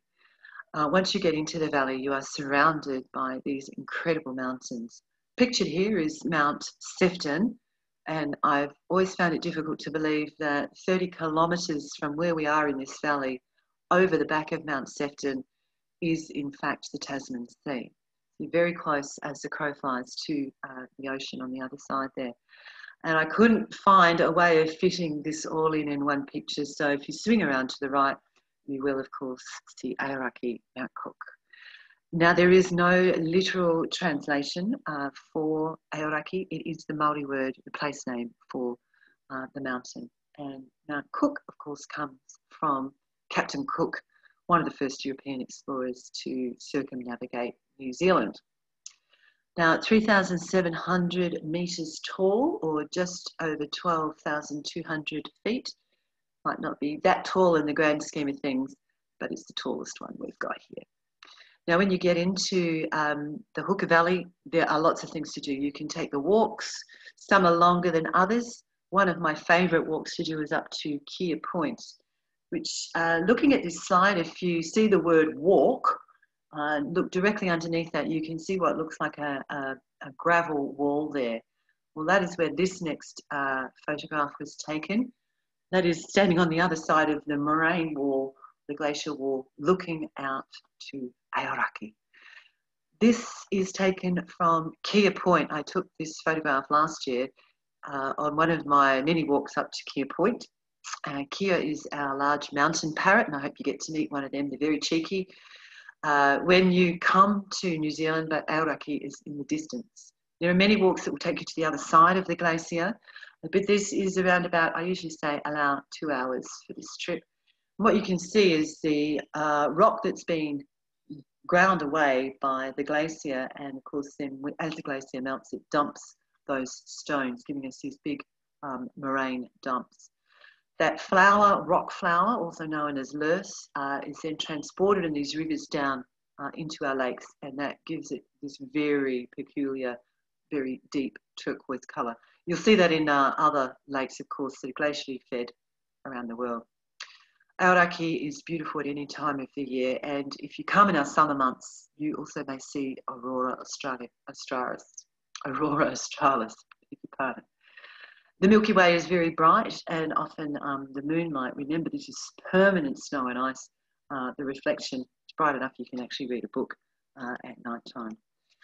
Sadly, we have to leave Aoraki and head into one of our great mountain passes. This is the beautiful Lindis Pass. And uh, any time of the season, this is a remarkable pass to come through. In the winter, it is uh, just as picturesque as the Lindis Pass. Uh, do make sure you bring your chains if you're intending to drive across the Lindis Pass, but it is the magical gateway to the beauty of central Otago. Now, I am a little biased. I spent all of my childhood holidays and any spare time we had in central Otago. This is one of my favourite places uh, in the world, in case you couldn't tell. Uh, so it is famous, of course, for one town, and that town is Queenstown. Now, let us, uh, there's many places in central Otago, Lake Hawea, Lake Wanaka, Alexandra, Cromwell. You can't go wrong. Let me just uh, put it that way. So, Queenstown. Queenstown sits on the shores of Lake Wakatipu and is in the last 20 years or so become incredibly popular. Uh, it is one of the leading destinations for both Kiwis and international visitors. Uh, and the reason for that is it has something for everybody. It has scenery. This is the birthplace of extreme sports in New Zealand. Skipper's Canyon, where the first bungee jump was done, is just outside in the gorge outside of uh, Queenstown. You've got helicopters, you've got skiing. We're right on the doorstep of the Gibbston Valley wine region. Um, there's Alps, goodness me, what more could you want? It is a fantastic location and extremely popular. Quite difficult to find a place to live if you are a resident and you don't own your own home. But that is, uh, of course, another story. Now, how does it get its name? Well, this is the region that the gold rushes occurred back in the 1850s and 60s, and allegedly Two miners were standing on the side of Lake Wakatipu looking across, and one said to the other, Hey mate, this is a view fit for a queen. And so the name has stuck, Queenstown. So let's do a little bit of uh, talking about the lake itself. It is an unusual shape lake. Wakatipu, the word Wakatipu means sleeping giant. And in this picture, you may be able to see what looks like a person that is uh, has their knees pulled up and their hands raised to their head. So sleeping giant is the Maori name uh, for Wakatipu. Now, Queenstown, and this is a beautiful photograph by my, my dear friend Julia. Thank you, Julia. So Queenstown is unique. It, uh, the lake itself was formed by glaciers, uh, or a giant, if you'd like to believe the story according to Maori. And the brief version is boy and girl fall in love, not permitted to marry because she's chief's daughter. Um, girl, of course, uh, is very upset. A giant that lives in the mountains comes into the village, steals the maiden, uh, and then the chief, of course, declares that whosoever can uh, rescue his daughter can have her hand in marriage. Now, the idea of marriage is quite different in uh, the Māori culture than it is for us uh, in those days.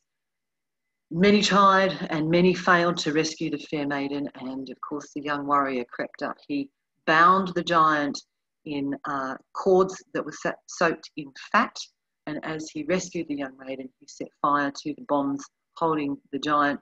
He then rolled down the hill, and his burning body imprinted the shape of Lake Wakatipu at the bottom of the valley. So you can believe whether it was formed by glaciers or formed You can choose. Uh, it also has this interesting phenomenon called a situ wave, which is something that happens when a body of, wa of water is enclosed by land. And it happens all around the world in different places. Just like if you're holding a glass of water and you tip it uh, and straighten it up, that water, of course, is going to keep on moving. Uh, and so that gives the illusion that there is tidal or wave action on Lake Wakatipu, whereas in fact it is just this situ wave, which is caused by wind generated uh, waves on other parts of the lake. Uh, according to Maori, however, it is the beating heart of the giant lies at the bottom of Lake Wakatipu. Uh, it is the third largest lake in New Zealand and it is uh, very deep at over 750 feet, in fact, deeper than sea level in some parts. Now, it is also home to the Remarkables, which is the mountain range pictured here. The Remarkables are so called because they're one of two mountain ranges in the world that run from south to the north, and that other one is uh, the Rockies in the United States. You just see Queenstown down in the left-hand corner there. And it doesn't matter where you go. Uh, this, of course, is Remarkables.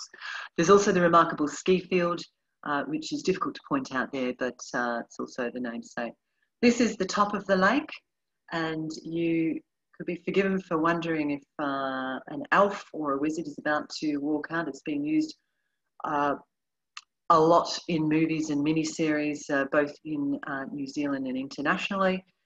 And wherever you go in Queenstown, chances are you'll see the Earnslaw, which is the steamship built in 1912 that frequents Lake Wakatipu, taking people uh, from one side to the other one of my favourite places to go on the Earnslaw is Walter Peak. So this is an operating sheep farm just on the other side of the lake. It is magnificent.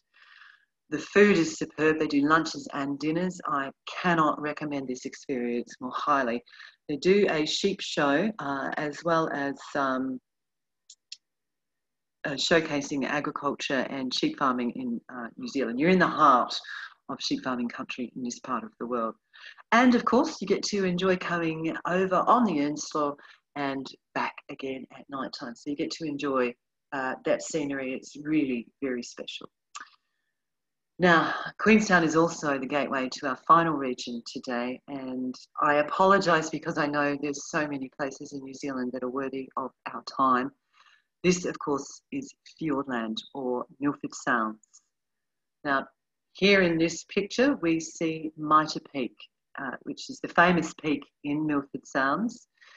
Uh, it's so called because it resembles a bishop's mitre. This is the township of Milford, if you can call it that what you see is what you get. The largest thing here is really the runway. Scenic flights are very popular for Milford Sounds. The uh, buildings are associated with the, the cruise services, and there are several cruises you can do out onto Milford Sounds on a daily basis. This is a full day trip from Queenstown. You could stay slightly uh, closer at beautiful Lake Te Anau, the Lake of Infidelity. Uh, or you could decide to make a day of it and come all the way from Queenstown, or you can fly in, which is a really quick and easy way to do it, and very, very popular. Once upon a time, there was a tourist hotel uh, here, just on the right hand side. You can see those old buildings, uh, but um, not too many people live here in uh, Milford region. Mitre Peak again, and you can see these cruise boats. If you're lucky enough, you're going to see dolphins, whales, Definitely the seals, they frequent the region. And the area is also home to some of New Zealand's most incredible nature walks. Uh, here you can see a cruise ship that's come in. This is usually on the itinerary. If you're part of a, uh, a cruise, they'll come into Milford Sounds. The other sound is beautiful, doubtful sounds, uh, which is not as easily accessed. Milford is the more uh, busier of the two, uh, doubtful you tend to need to be going on a boat or going uh, on a scenic flight. Now, they're not called fjords, but they are in fact true fjords. They are glacially carved, but they were named sounds, and uh, quite simply, it hasn't, hasn't changed. This picture on the left-hand side shows you what you can expect if you were going to take one of our famous walks. So that's the Milford track, the Heaphy or the Routeburn track, all of them require for you to book, and uh, all of them are very popular in our summer months. So, my friends, or whanau, because you are now family, whanau, uh, from the bottom of the country and from so many other locations around New Zealand, the Limestone Coast, Cape Reinga, Paihia, the Bay of Islands, Coromandel Peninsula, Taranaki, Kaikoura, uh, Bay of Plenty, all of the West Coast, all of the South Island, Stewart Island, and all of the places that we didn't get to.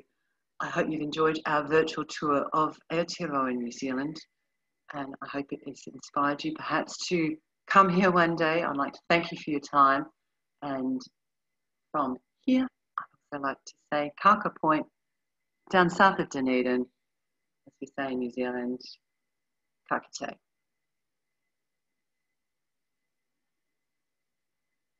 That's awesome. Thank you. Hand so back to you, Marah. Yeah, thank you so much. Oh my gosh, I have been to New Zealand and I feel like I need to go back now to see so many places that I wasn't able to see.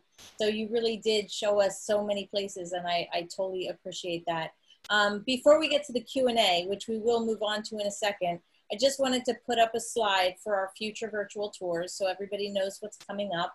Uh, we have Germany, Transylvania, Japan, the Highlands of Scotland, Alaska, Vienna, Berlin. We're going back to Spain for um, Gaudi's Barcelona. So please, you know, if you want to register for those, please do so. And as we go into the Q&A, I just want to touch on the fact that, um, as you can imagine, Melissa could have done this tour um, with her eyes closed and, and research if she was on, on a physical tour but knowing that technology has to be put in place and and um, it's a whole different beast when you're presenting uh, in this way. So if you did enjoy the tour, um, please know that um, I just I just chatted the way that you can send a tip to me, and then all of those tips will be accumulated and pushed on to Melissa as a way to thank her. Um, I am going to now move into the Q&A. If Melissa is ready and if you're going to review these, Melissa, this is like a rapid fire Q&A. So just dive in, read them off, answer them as quickly as possible and move on. We do have more than a, about 100 questions right now. We probably won't get to all of them, but we will do our best to try to get to as many as possible. So I'm going to hand it back over to you, Melissa, and you can jump in. Thank you, Marah. Thank you. Okay, so and thank you, everybody. I, I, I there is so much to New Zealand that uh, we were not able to fit in, but I, I, I, hope that you enjoyed what you did here now. So, first question, Daniel, what is the population? And apologies if I didn't say that, Daniel. We are 5 million people in New Zealand. Um, Mary Lou, we'll be travelling late March and April. Uh, look, this is a good question. Very nice time of the year to travel. Sandflies, I think you call them no-see-ums uh, or midges, but regardless, take insect repellent. I can't guarantee that they won't be there, to be honest, and only in some places. Uh, the largest recorded earthquake, oh, uh, we have recorded um, the 7.4, but I believe that we have had larger, uh, larger ones. I'd love to tell you the travel restrictions. Unfortunately, for um, Philip's asking uh, to update us about travel restrictions, uh, and I would hope that we lift them soon. And I can only apologise that you can't come here and we can't come there. In fact, I'm supposed to be on a tour in the United States at the moment, so uh, it's. Uh, I, I, really hope that uh, it's soon. Just keep uh, check the consulate website; should be able to give you that. Uh, Anonymous, you've asked me an interesting question. Um, do people eat kiwis? Absolutely not. They're a protected species. But that was an interesting one to ask. Uh, Bree, you've asked, does the South Island experience more seismic activity than the North? And why is it that most people live in the North Island? Great question, Bree. Uh, a lot of people live in the North Island because it was the first place to be settled. Um, uh, it can also be driven by employment opportunities. But the South Island, see, it's only special people that it's terrible. I know the North Islanders out there are hating me, and I apologise uh, uh, to you for that. But uh, it was really just a matter of how the population spread, and it is significantly cooler in the South Island um, than it is in the North. Auckland has a lovely uh, temperate climate, whereas you can get snow down to uh, sea level in the southern parts. Two native animals in New Zealand are the bat and the fur seal. Yes, everything else is introduced. Uh, travel time by ship from the North or South America. Oh, I believe that is two weeks, and people do it all the time. So I often have cruise groups that have come on that uh, one-way cruise from the States. And Alexis has asked us what language do we speak? We speak English and Maori is the other language. You'll find all the uh, Signs are also in Maori, so you can practice your pronunciation. Uh, what food do we eat? Look, you know, there are so many things I wanted to include. Uh, seafood is big for us, not for me, I'm allergic. Um, kai moana is what we call that. Kai is the name for food. That's why we all secretly laugh when we meet someone called kai, because that is the Maori word for food. Um, but we eat simple stuff, lots of seafood, lots of fresh produce, and as you can imagine, dairy farming is one of our biggest industries, lots of cheese. Um, best time of the year to visit, different things to see at different times of the year, Jacqueline. Um, the spring and summer can be changeable. The road into Milford Sounds is inaccessible if you have an avalanche come down through the valleys there. And that is an incredible trip in and of itself. So difficult to say. Uh, but I would say try spring and summer. There's a magical quality to New Zealand in the air in the summer months that's difficult to uh, to translate. Uh, but I would definitely try that. Uh, Jim's asked, do we get hit by hurricanes or typhoons? Uh, Jim, we're too far south, but we do get the big Antarctic storms that come through, uh, which can be quite frightening. That uh, that's not um, but the, the hurricanes, uh, to be honest, we have, we call them a cyclone in the southern hemisphere. We did have a cyclone come down last summer, which was the first time I think in living memory that we had had a cyclone come close to the New Zealand coast. Typically, we're too far south. Uh, Ali's asked, are there a lot of deadly insects, animals in New Zealand like there are in Australia? No, Ali, we managed to keep them all in Australia. Um, we don't have snakes. We very, we have very few spiders. Um, before I moved to Australia, because I do live in Australia, I was terrified of spiders as big as a centimetre square. Last night I had one as big as my hand in my bathroom. So, yeah, no fear of that in New Zealand. Uh, are there issues with erosion or flooding, Erica? That's a great question. Erosion, yes, and that's largely due to, in fact, we have a problem with rabbits. Um, rabbits, the uh, animal. I told a group once that the anim- that rabbits were a pest. They were looking for all these big angry rabbits because they thought I said they were pissed, but no, it's uh, they are erosion is the issue that is really to do with um, uh, animal interference in hard-hoofed animals. Um, the height of the tower compared to the Grand Canyon, I'm very sorry, I don't know that. It is, if you think height of the Eiffel Tower, similar sort of things, it's definitely, um, uh, the Grand Canyon is definitely deeper. Uh, coming from Canada, how much time should I stay? Stay as long as you like. Three weeks to a month is a good amount of time. I definitely think, Greer, you need that much to see New Zealand. Eric is asking, um, with earthquakes, are there areas of New Zealand that are more susceptible or to tsunamis? Erica, unfortunately, we are susceptible to tsunamis. We have an excellent warning system. Uh, quite simply, you just need to be informed. Uh, and we have a really good uh, emergency system in New Zealand. We're a very modern country. People are often surprised about how modern we are. Oh, Dame Kiri Te Kanawa. Leslie, what about Dame Kiri Te Kanawa? I was going to include her, yes. I thought maybe a lot of people might not know her. You're obviously of my uh, generation, but she, of course, Dame Kiri Te Kanawa, Māori opera singer, very famous, incredible uh, voice. I apologise for not including her. Um, the rugby statue is located outside. Um, Aaron's asking where the rugby statue is. It is outside Mount Eden in Auckland, Mount Eden Station uh, uh, Stadium. Uh, Mammy's asking if you can take pictures in the glowworm caves. That is a great question because you cannot. Um, the flashing light and sound will in fact interfere with that. So they kind of get you there, but it is really great. They do a, a little booklet you can either buy or you can buy a postcard. Um, the cost of going to the caves, uh, are they accessible for older tourists? That is an excellent question, Michelle. Um, the cave cost, I'm sorry, it's not much. It's not um, uh, a lot of uh, money. The caves themselves may not be uh, accessible if you have mobility issues because there are steps required.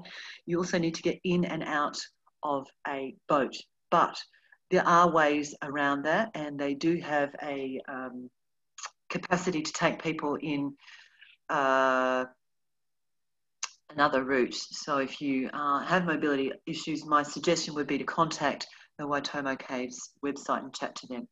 Karen's asking, did I ever go to White Island before or after the eruption? Well, Karen, no, I've never gone to White Island. I um, have thought about it uh, on various occasions. Uh, no one has been to White Island other than the emergency ser services now. And if you were to ask me if uh, we were going to have a, a, a, if I would go there now, my answer is, is no. How often do you have earthquakes? Lockie, well, Lockie, I hate telling people this, but all the time. It's um, it is uh, the average we say is two and a half thousand a year, but that you know that could be in one place or another. I was in Queenstown last year when we had a pretty big one uh, that uh, was just off the Milford Sounds coast, and we could feel it in Queenstown. So yeah. Uh, how fast? Kayla's asking how fast does Zorb go? Uh, Zorb doesn't go as fast as like you do have to stop at the end so there's no need for you to be concerned about that they have all of this things in place to stop you from uh, going out and onto the road and into the lake. Um, but this orb is really, really great fun. I, I can't tell you and recommend it enough. I've done it many times myself. Uh, Cecile's asking what makes Kiwi so adventurous. Uh, look, you know, that's um, something I was going to touch on, in fact. And Cecile, quite simply, I think it's because my generation, and I'm not that old, but uh, we, first of all, the pubs were never open on Sunday and TV finished at 11 o'clock at night. So we had to be quite uh, inventive and it wasn't unusual for friends of mine. I remember very clearly uh, my neighbour coming over and saying, Hey, I'm going to take the sheet off my bed and I'm going to jump off the cliff at the bottom of the um, paddock. Do you want to come? I thought that sounds like a lot of fun. So, yeah, uh, I think it just comes from having it there, maybe being bored, a combination of the two, to be honest. it's a bit tr- tricky. Uh, Darby is asking, um, do I have any tips or recommendations for honeymooners? Oh, Darby, there's so many beautiful places you could go to. Uh, my suggestion would be perhaps get onto Airbnb and look for a really lovely place in uh, in Queenstown. Um, Queenstown has something for everyone, and uh, sorry, just reading another question there. And I think as a honeymooner, you would not be disappointed. There's lots of great experiences you can do together, and lots of food and wine experiences there as well. Um, Jodie's asking, what is Maori life like currently? Um, the traditional practice you see are traditional practices. Maori life is just like everyday life for us. Maori are very modern people, and uh, you'll find we keep culture alive because it is um, it's living. It's important to uphold tradition, and it also is a way of remembering who we are and connecting with our past. now, Jen, Jenna has said, so um, would you stick your tongue out to say hi if you were so peaceful? So, Jenny, Jenna, um, the pukana where the tongue is sticking out is uh, not a friendly action. that is to, in fact, uh, scare people. That's uh, not a greeting. It's really done to test people and uh, in the ceremony, if you were to go to a hangi feast in the ceremony leading up to it, it's really to see what you're made of. Uh, it's considered extremely rude, by the way, to laugh or imitate uh, anyone doing um, the pukana. It's, it is literally the worst thing you can do. So that's just a little tip for you if you are in, um, intending to uh, attend a, a hangi performance. It's really important to remember that. Anne has asked, is facial tattooing confined to non-Maori people? Uh, confined to, oh, confined to Maori people. Look, it's not, but if you are not practicing culture, it can be frowned upon because it is then, uh, in my opinion, it's really just aesthetics is the reason you're doing that. Uh, I believe in, uh, in culture and um, I think that the significance of the tattoos is, is more important than the tattoos themselves. Jody asked, do the local fear the ring of fire because of the potential eruptions? And they are monitored closely. Jody, yes. Look, at the end of the day, you um, you learn to live with it. You don't think about what's going on underneath your feet. Uh, you know, I guess like a lot of people in um, the United States that live on the San Andreas Fault could probably say, do you think about it? I do think about it, but uh, at the end of the day, God has a plan, and whatever it is, it will be. So, uh, but I wouldn't be concerned if you were coming to New Zealand about earthquakes. As I said, we're a very modern country, but not only that, most of our buildings, especially the ones in Christchurch that are being rebuilt, have been built to withstand significant um, Richter scale action. So, uh, it is important to to think about that. And if we didn't go to places because we were worried about what might happen then none of us would ever leave our, our living rooms. I know, sorry, like we are now. Um, Lockie's asking, does Wellington have any famous uh, landmarks? Wellington has, Wellington's an interesting city. It has, of course, Parliament House. It's a lot of administrative uh, buildings, Lockie. Te Papa, of course, Mount Victoria, which was used also in the filming of Lord of the Rings and lots of other uh, movies. Um, but to be honest with you, that is really, uh, Wellington is an administrative city. uh, it's also a very cool city. It's got um, a lot of really neat cafes, but I should also mention it has a massive arts scene. So that is something to think about. Very, very well dressed people in, uh, in Wellington. Um, the primary industry in New Zealand. So the four main industries in New Zealand, I apologise, I meant to include this, are um, first of all, dairy farming. So uh, that is a huge industry for us in New Zealand. Uh, sheep farming comes in second or third. Uh, forestry is also in the mix, so logging. And the big one also for us is tourism. So that is our top four industries in New Zealand. And uh, you'll find that there's other things, you know, we produce wine, we uh, sell education, there's all kinds of other subsidiary um, uh, agricultural industries as well. Uh, are there train services in places that are affordable, like hostels to stay in, like in Britain? Jenna, Jenna, that's a great question. We have a superb public transport system.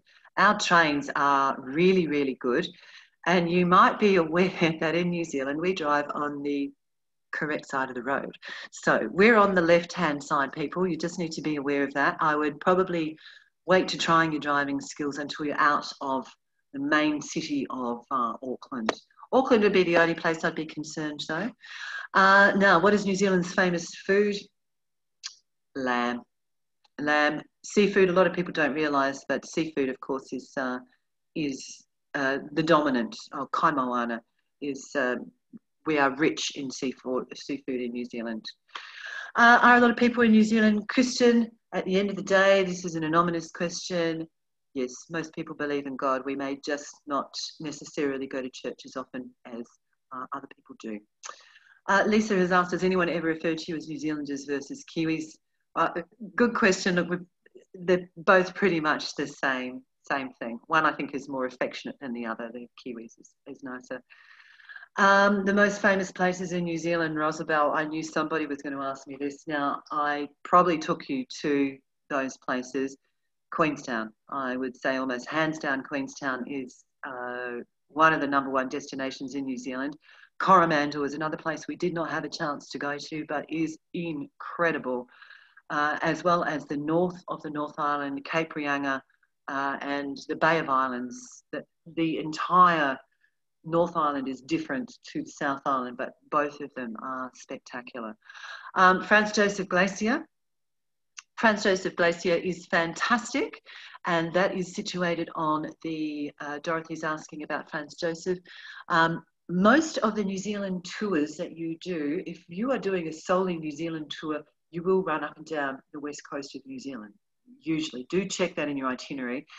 And most places, uh, provided the weather is uh, allowed, will give you the option to take helicopter flights onto those glaciers. So the west coast has the Franz Josef and the Fox Glacier on it. Uh, absolutely fantastic. Uh, Kim is asking, is there a Facebook page that's good to follow and enjoy and keep up with New Zealand? That's a good question, Kim. Um, I am, I obviously am fairly close to the news there. I look at stuff.com, which is a New Zealand news feed, stuff.com, if you're, or stuff, sorry, stuff.co.nz.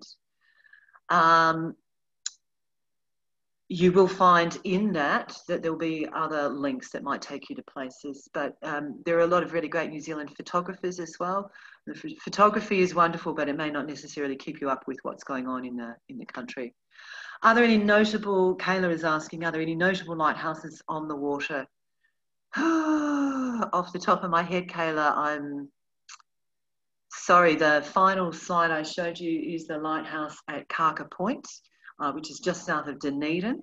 Um, that you can actually go and stay in overnight. But on the water, I, I apologise, I'm not 100% sure.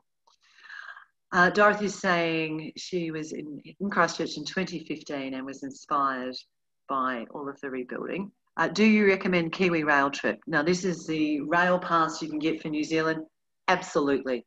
And one of the great rail trips in New Zealand is from Christchurch across to the west coast through Arthur's Pass, which is another place we were not able uh, to, to go to today. Arthur's Pass is stunning, uh, and we have very few mountain passes in New Zealand. So Arthur's Pass is one way of getting to the west coast, um, and the train trip there. Even if you don't use the train to get around in New Zealand, the train trip to Arthur's Pass is worth doing.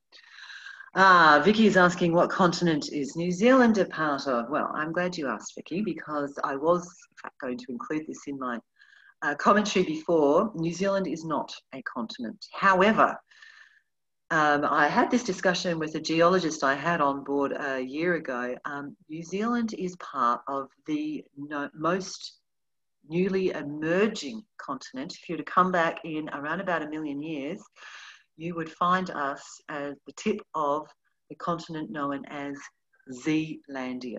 That's what uh, Zealandia is called. Um, what's the best mountain to ski on from Rosabelle? All of them. They're fantastic. Um, the skiing, if you ski from Christchurch, there are over 150 different ski fields in the South Island of the North uh, of New Zealand. Some are private, but a lot are open to the public. You have out of Christchurch Mount Hutt and Porter Heights. Um, you have in the Queenstown or Wanaka region. I am quite biased. Wanaka is home to Cardrona and Treble Cone. Queenstown is always busy, so you might want to get off the beaten track a little bit. Uh, that is home to the Remarkables and um, Coronet Peak. But you have a million different choices. If you really are after something specific in terms of skiing, you can um, contact me through Marah's uh, website. I might be able to give you some better recommendations. Um, what's the temperature, Karen? Excellent question. Sorry, I was trying to touch on that when I was talking about our climate. The temperature is, and we are metric, um, the temperature is quite cool at the moment. We experience four definite seasons. You don't really get much higher than about 90 degrees, let's say. Although, with the warming of the planet, we are experiencing warmer and warmer sum- summers. Every year, the, uh, the record is being broken for the hottest um, temperatures on New Zealand records. So, um, we range in temperature from, and we get down to zero C, so 32, uh, right up to, I would say, um, 32 degrees C would be fair to say, double that, 64, around about 90, maybe 95 degrees would be the hottest you could experience. We are not humid. Auckland thinks it's humid, but it's not really that humid. So uh, just to let you know that. Um, how difficult is it to rent a car? Um, can you please practice driving on the right side of the road? The, the left side of the road, I mean the correct side of the road.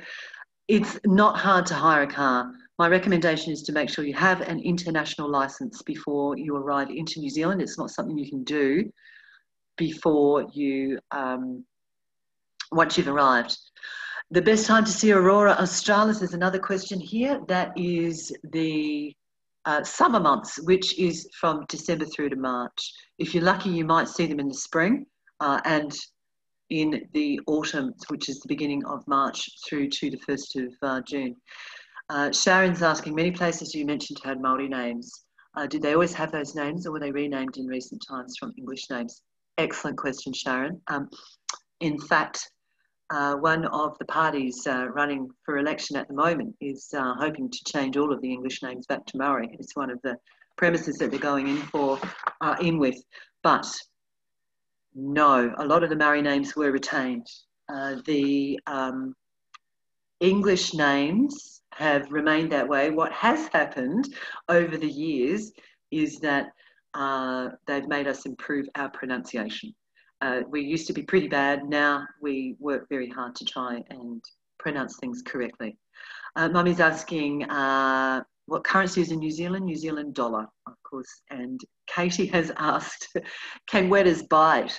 No, Katie, but they can jump. They're kind of creepy. But I'm not scared of wetas. I'm more scared of spiders. Um, the best and most economical time to visit Karen, it is, in my opinion, summer, spring, and autumn. Winter, unless you are skiing, winter is still sensational. And truly, the North Island, it won't make it, it will be cool in the North Island, but if you want to go skiing, you need to come in the winter months, which is from June to September.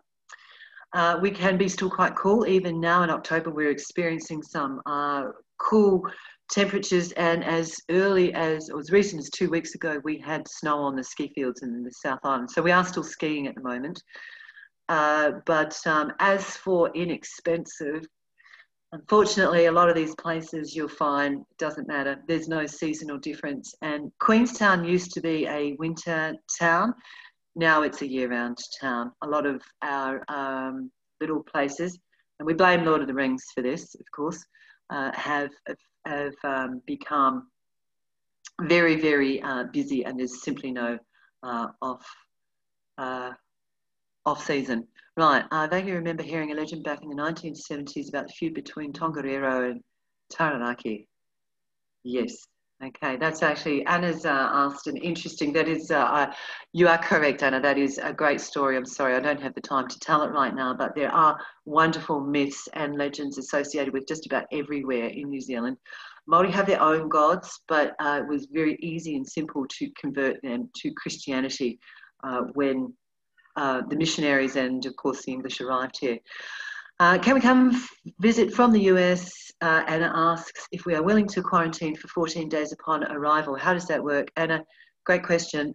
Um, you have to be able to get on a flight, and that is the trick at the moment. We have around about 14,000 Kiwis stranded overseas at the moment that are unable to get home because, quite simply, there are no flights coming into New Zealand.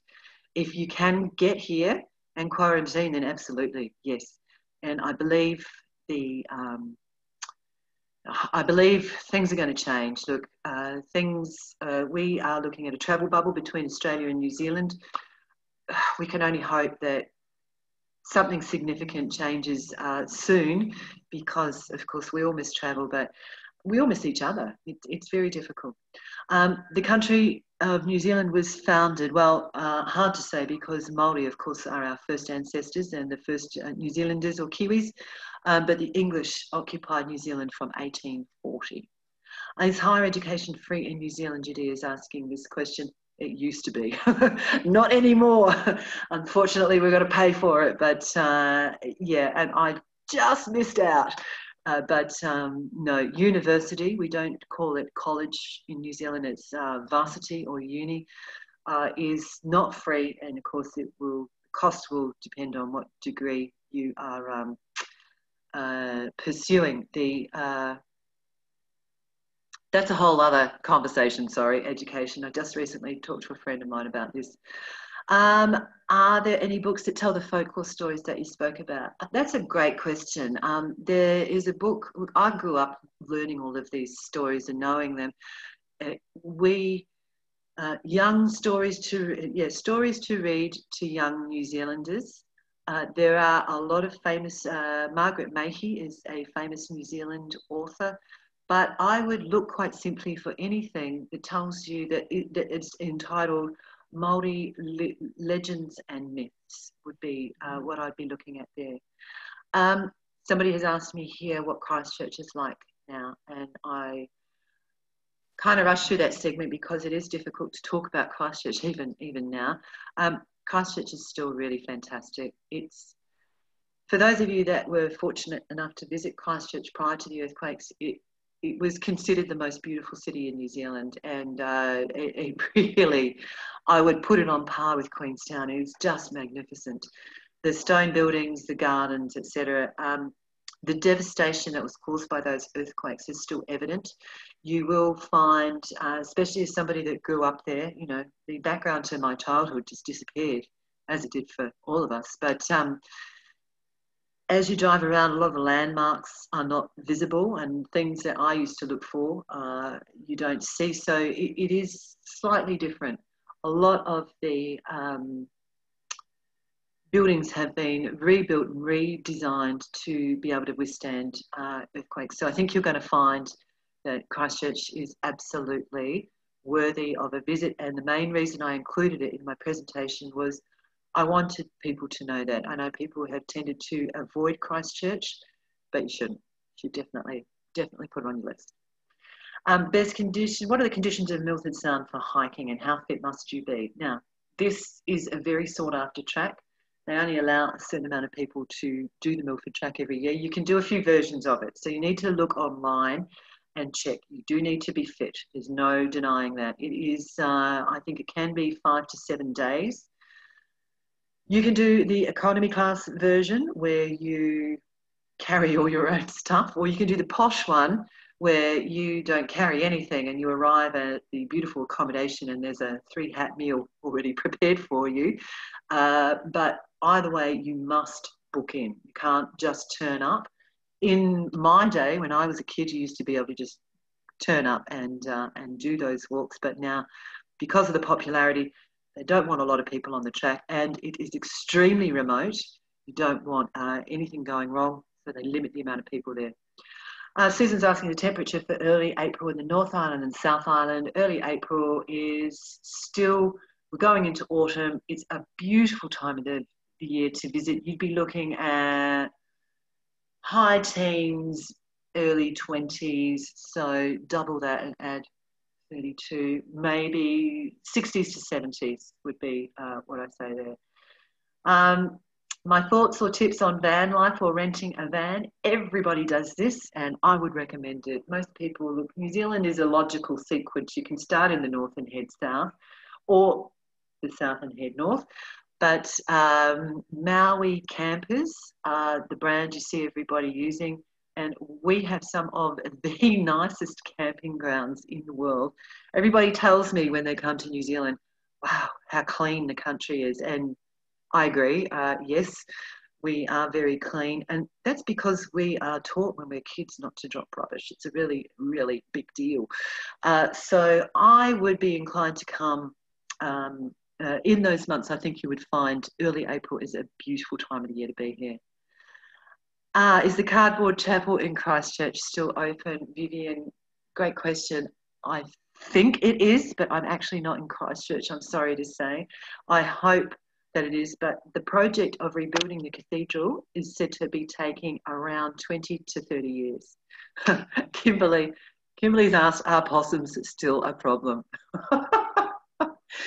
so for those of you not in the know, the possum is a beautiful creature. We love possums here in Australia. Uh, he is a native to Australia and he was introduced for hunting. His pelt, his fur, of course, uh, by the English uh, aristocracy back in the 19th uh, century. Unfortunately, he loves our trees and he has um, he can go through and ring bark our native forests overnight. So he causes massive dev- devastation. So much so he's called public enemy number one in New Zealand. So yes, he is still a problem, and we make fibre out of his fur. Whereas what's amusing is, of course, is uh, we think there's 95 million possums in, in New Zealand, and they are a protected species in Australia. So there you go. How long a time required to adequately tour the North Island and hit most major sites from Randy? Randy, ah, look, how long is a piece of string? I would probably say give yourself at least, at least two weeks.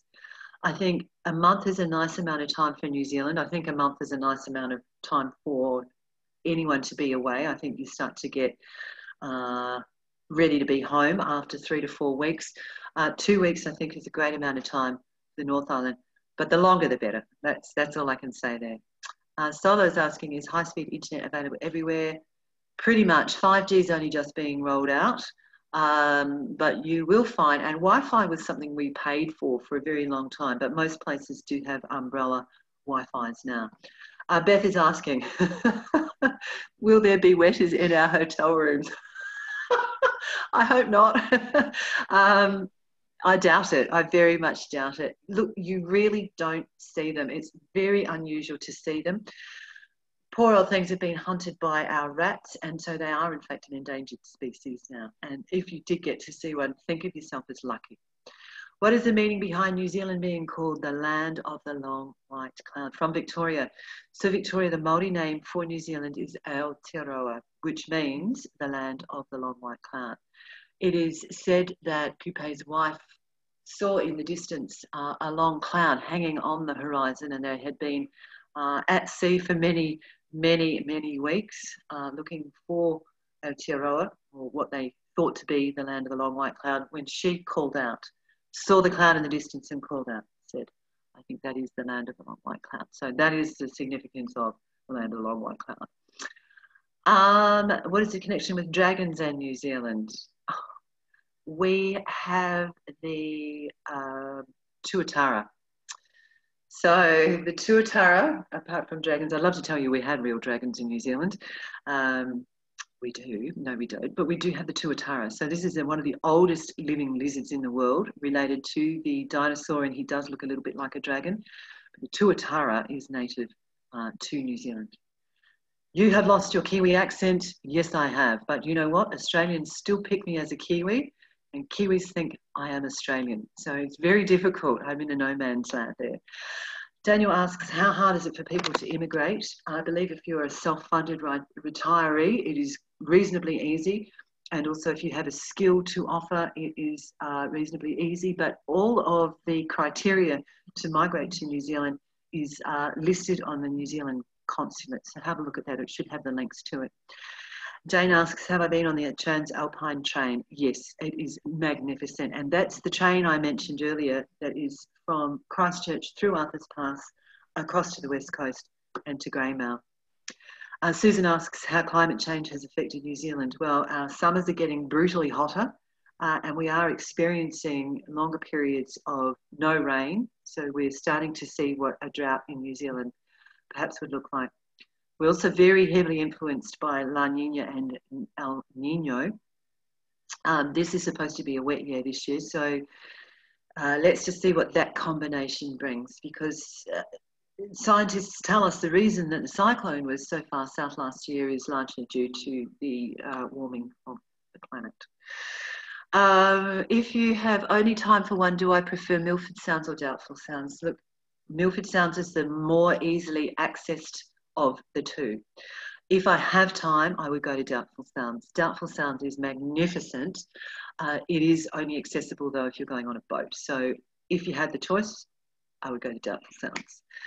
Uh, you mentioned the value of your jade. Uh, is the jewellery exported? Well, that is a great question asked by Anonymous. Now, um, the value can also just be uh, sentimental, but Maori believe that the power of uh, greenstone increases as it's passed on throughout a family.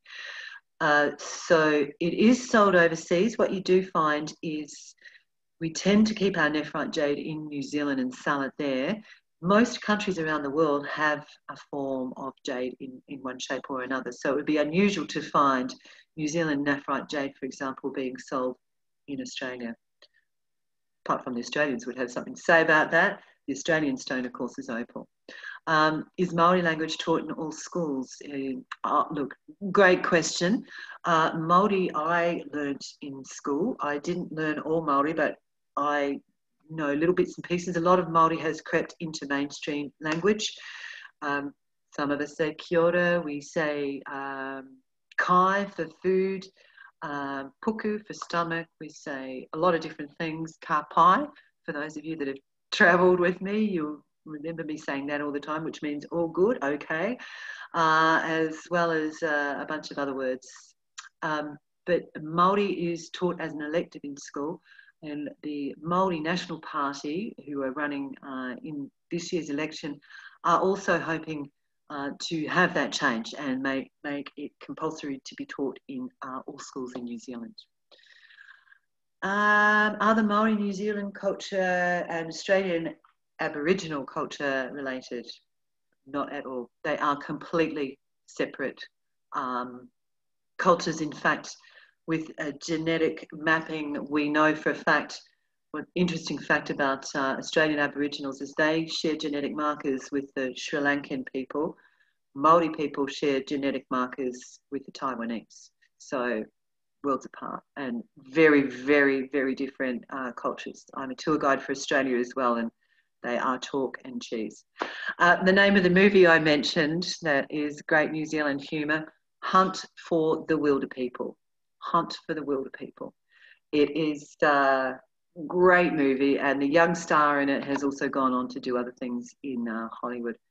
Uh, Donna asks, what kind of public school system do we have? Uh, Donna, we have a really good public school system. Um, we, some schools are better than others. We have a system called the decile system, um, but education in New Zealand, my own observation of education in New Zealand is that in overall, we have an exceptional education system. Um, and although not everybody goes on to tertiary education, there are a lot of opportunities uh, presented during your time at school. Um, question: Where were you? Uh, where I was I in Christchurch during the earthquake? Uh, I could have been. Um, that was the year I, I actually had just given birth to my son. So no, I was sitting uh, in Australia. Uh, well, I wasn't. I was lying on the floor by the time I saw what had happened in Christchurch. It was uh, it was a very uh, traumatic uh, couple of months. Uh, I did have a colleague, however, who was there with the tour, and they had to. They couldn't go back into the hotel. Um, Michael asks, "How are medical services?" Michael, I'm not sure where you've come from or where you are, but um, the medical uh, system in New Zealand is excellent. Very, very good. Someone asks why I live in Australia. Well, I live in Australia, but I work in New Zealand. So uh, I grew up in New Zealand and I spent all of my life as a child wanting to travel. I got a job at the World Expo in Brisbane in 1988. So it gives you an idea of how old I am. And when I got here, I hated it. Uh, I'd come from Mount Cook and the snow, I'd come to the heat. I lost my mind uh, when I came to Australia, but I was very stubborn and determined not to go home and admit defeat. And so I stayed. And when I finally did go back to New Zealand, all my friends had left. Everyone had gone to different parts of the world. So I ended up coming back to, to Australia. But I am a tour guide for Australia and New Zealand, the South Pacific region, and part of my logic for becoming a guide was because you know I got to go home and of course show people in New Zealand, which was something I often did as a child. Uh, do I ever organise wine tours for small groups from Nancy? Yes, I do.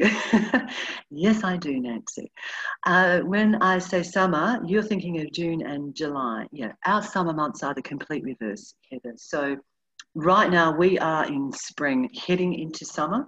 Christmas, of course, is smack bang in the middle of summer. So summer is technically from the 1st of December to the 1st of March. Um, the cost of living in New Zealand, is it easier to rent an apartment or buy a house? Whew, yeah, well, you're going to be horrified when you find out what the cost of a house is in New Zealand. Uh, it never used to be that way, but we have become a very sought after address, and with foreign investment the way it's been, pushed the prices of um, homes in New Zealand through the roof. Uh, it's probably cheaper to rent a house and then have a look um, for a place to live. But to be honest with you, home prices in Auckland, oh, uh, Auckland is not, I would probably live, uh, I live in the country. I live in the country in Australia as it is. So um, the average cost of a home, and, and brace yourself, uh, in Auckland is 1.2 million New Zealand dollars. So it's not a cheap um, location, and that's because really uh, Auckland doesn't have a huge amount of land. You find people spreading out all of these new um, subdivisions are springing up and they're further and further away from the uh, from the city. Okay, Caroline asks, can you go into the Hobbit houses or just look at them from the outside?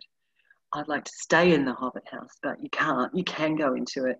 There's not much in there. It is really just for show. But in my opinion, if somebody wanted to build those places, I would have one for my own home. That would be great. Um, the most exhilarating activity to do in New Zealand, bungee, jet boat, and others just being in New Zealand's exhilarating. Uh, I am not an adrenaline junkie, but you can do all of those things. You can bungee jump, you can uh, whitewater raft, blackwater raft. You can go out on the Hamilton Jet, which is a New Zealand invention uh, for our very, very shallow shingle rivers, and travel at speed down these rivers, not driving it. You can parapont, you can paraglide, you can luge, you name it, you can do it here in New Zealand. Um, is it safe for women to rent a camper van and travel around? Absolutely, Debbie. Uh, you will find that um, women are held in high regard. We are, it's very much an egalitarian society and an equal society, society when it comes uh, to men and women. And Dan, you've asked a question uh, here regarding uh, whether we are vegan friendly. Uh, yes, we are not just vegan, vegetarian, gluten free, lactose free, lacto ovo, you name it, we do it. Uh, and um, New Zealand uh, has some of the most beautiful uh, fresh produce in the world. Question here, how much of the land in New Zealand was returned to Māori? Now that's a difficult one to answer because this uh, the Waitangi Treaty, sorry, I can't read without glasses. Um, the Waitangi Treaty was signed and then contested in the New Zealand High Court. And what, of course, happened is over the period of time from the signing of the treaty in 1840 to the contest, contestant of that, some well over 100 years later, a lot of people have built on that land, and some of those waterways are not available, or the mountains being, um, you know, uh, got a ski resort on it or whatnot. So uh, it's hard to say. So we do say that a lot of uh, areas belong to different iwis. For example, my own family is uh, Ngāi Tahu, which is the bottom of the South Island. We are the green-eyed Maoris, and uh, the um, they have the land claim to. They can make a land claim to most of the land in the area there, but a lot of people don't. You know, it's just good enough to know that you can't do anything to that land without coming through the Māori people who are, I believe, environmentalists, which for me is really uh, important. Uh, how difficult is it for people to move to New Zealand? Uh, if you're retired, I don't believe it is that difficult. Um, again, just check on the consulate website. I think if you're a self-funded retiree, uh, you can uh, come here. But it is something that you'll need to look. Each country will have a different, uh, you know, different rules. So just depending on where you're coming from. Uh, are there any musicals or form of performing arts in that New Zealand is popular for? Okay, probably the Māori uh, stuff is the things that we are popular for. We have a really great music scene, um, but off the top of my head, I can't think of any production. Um, the movies that have been made in the past, Whale Rider, The Piano, of course, Jane Campion's um, piano. Lord of the Rings is the the most recent uh, one. But in terms of plays or productions, I'm sorry, we, we don't um, have anything. We do have some things that are peculiarly Kiwi, uh, but you have to really be here to uh, experience them. They certainly haven't been exported anywhere. What's the best South Sea island to stop at for a beach vacation after my New Zealand holiday en route back to the States? Well, you could easily go to Fiji. Uh, Fiji is great, but one of my most favourite places in the whole of the world, and I mentioned earlier on, is the Cook Islands.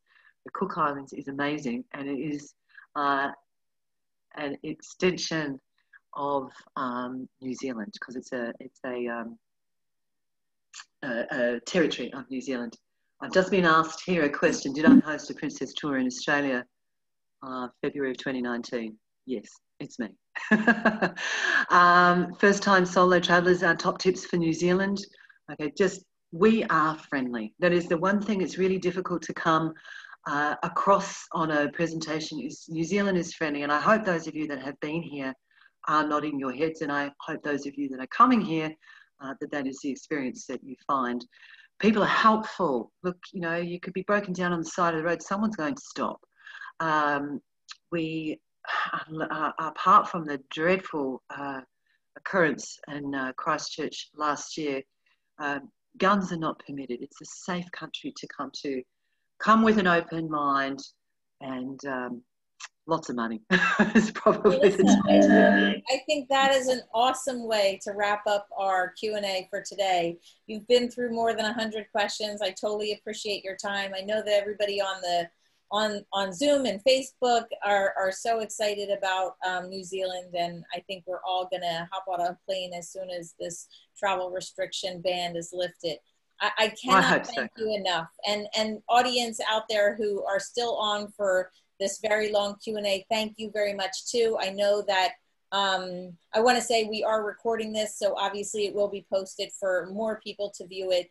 But uh, I cannot thank you enough, Melissa you you are a new friend all the way on the other side of the world so i look forward to meeting you again one day on your side. But um, from here and everyone else thank you and good night. Kakite my friends kakite. All right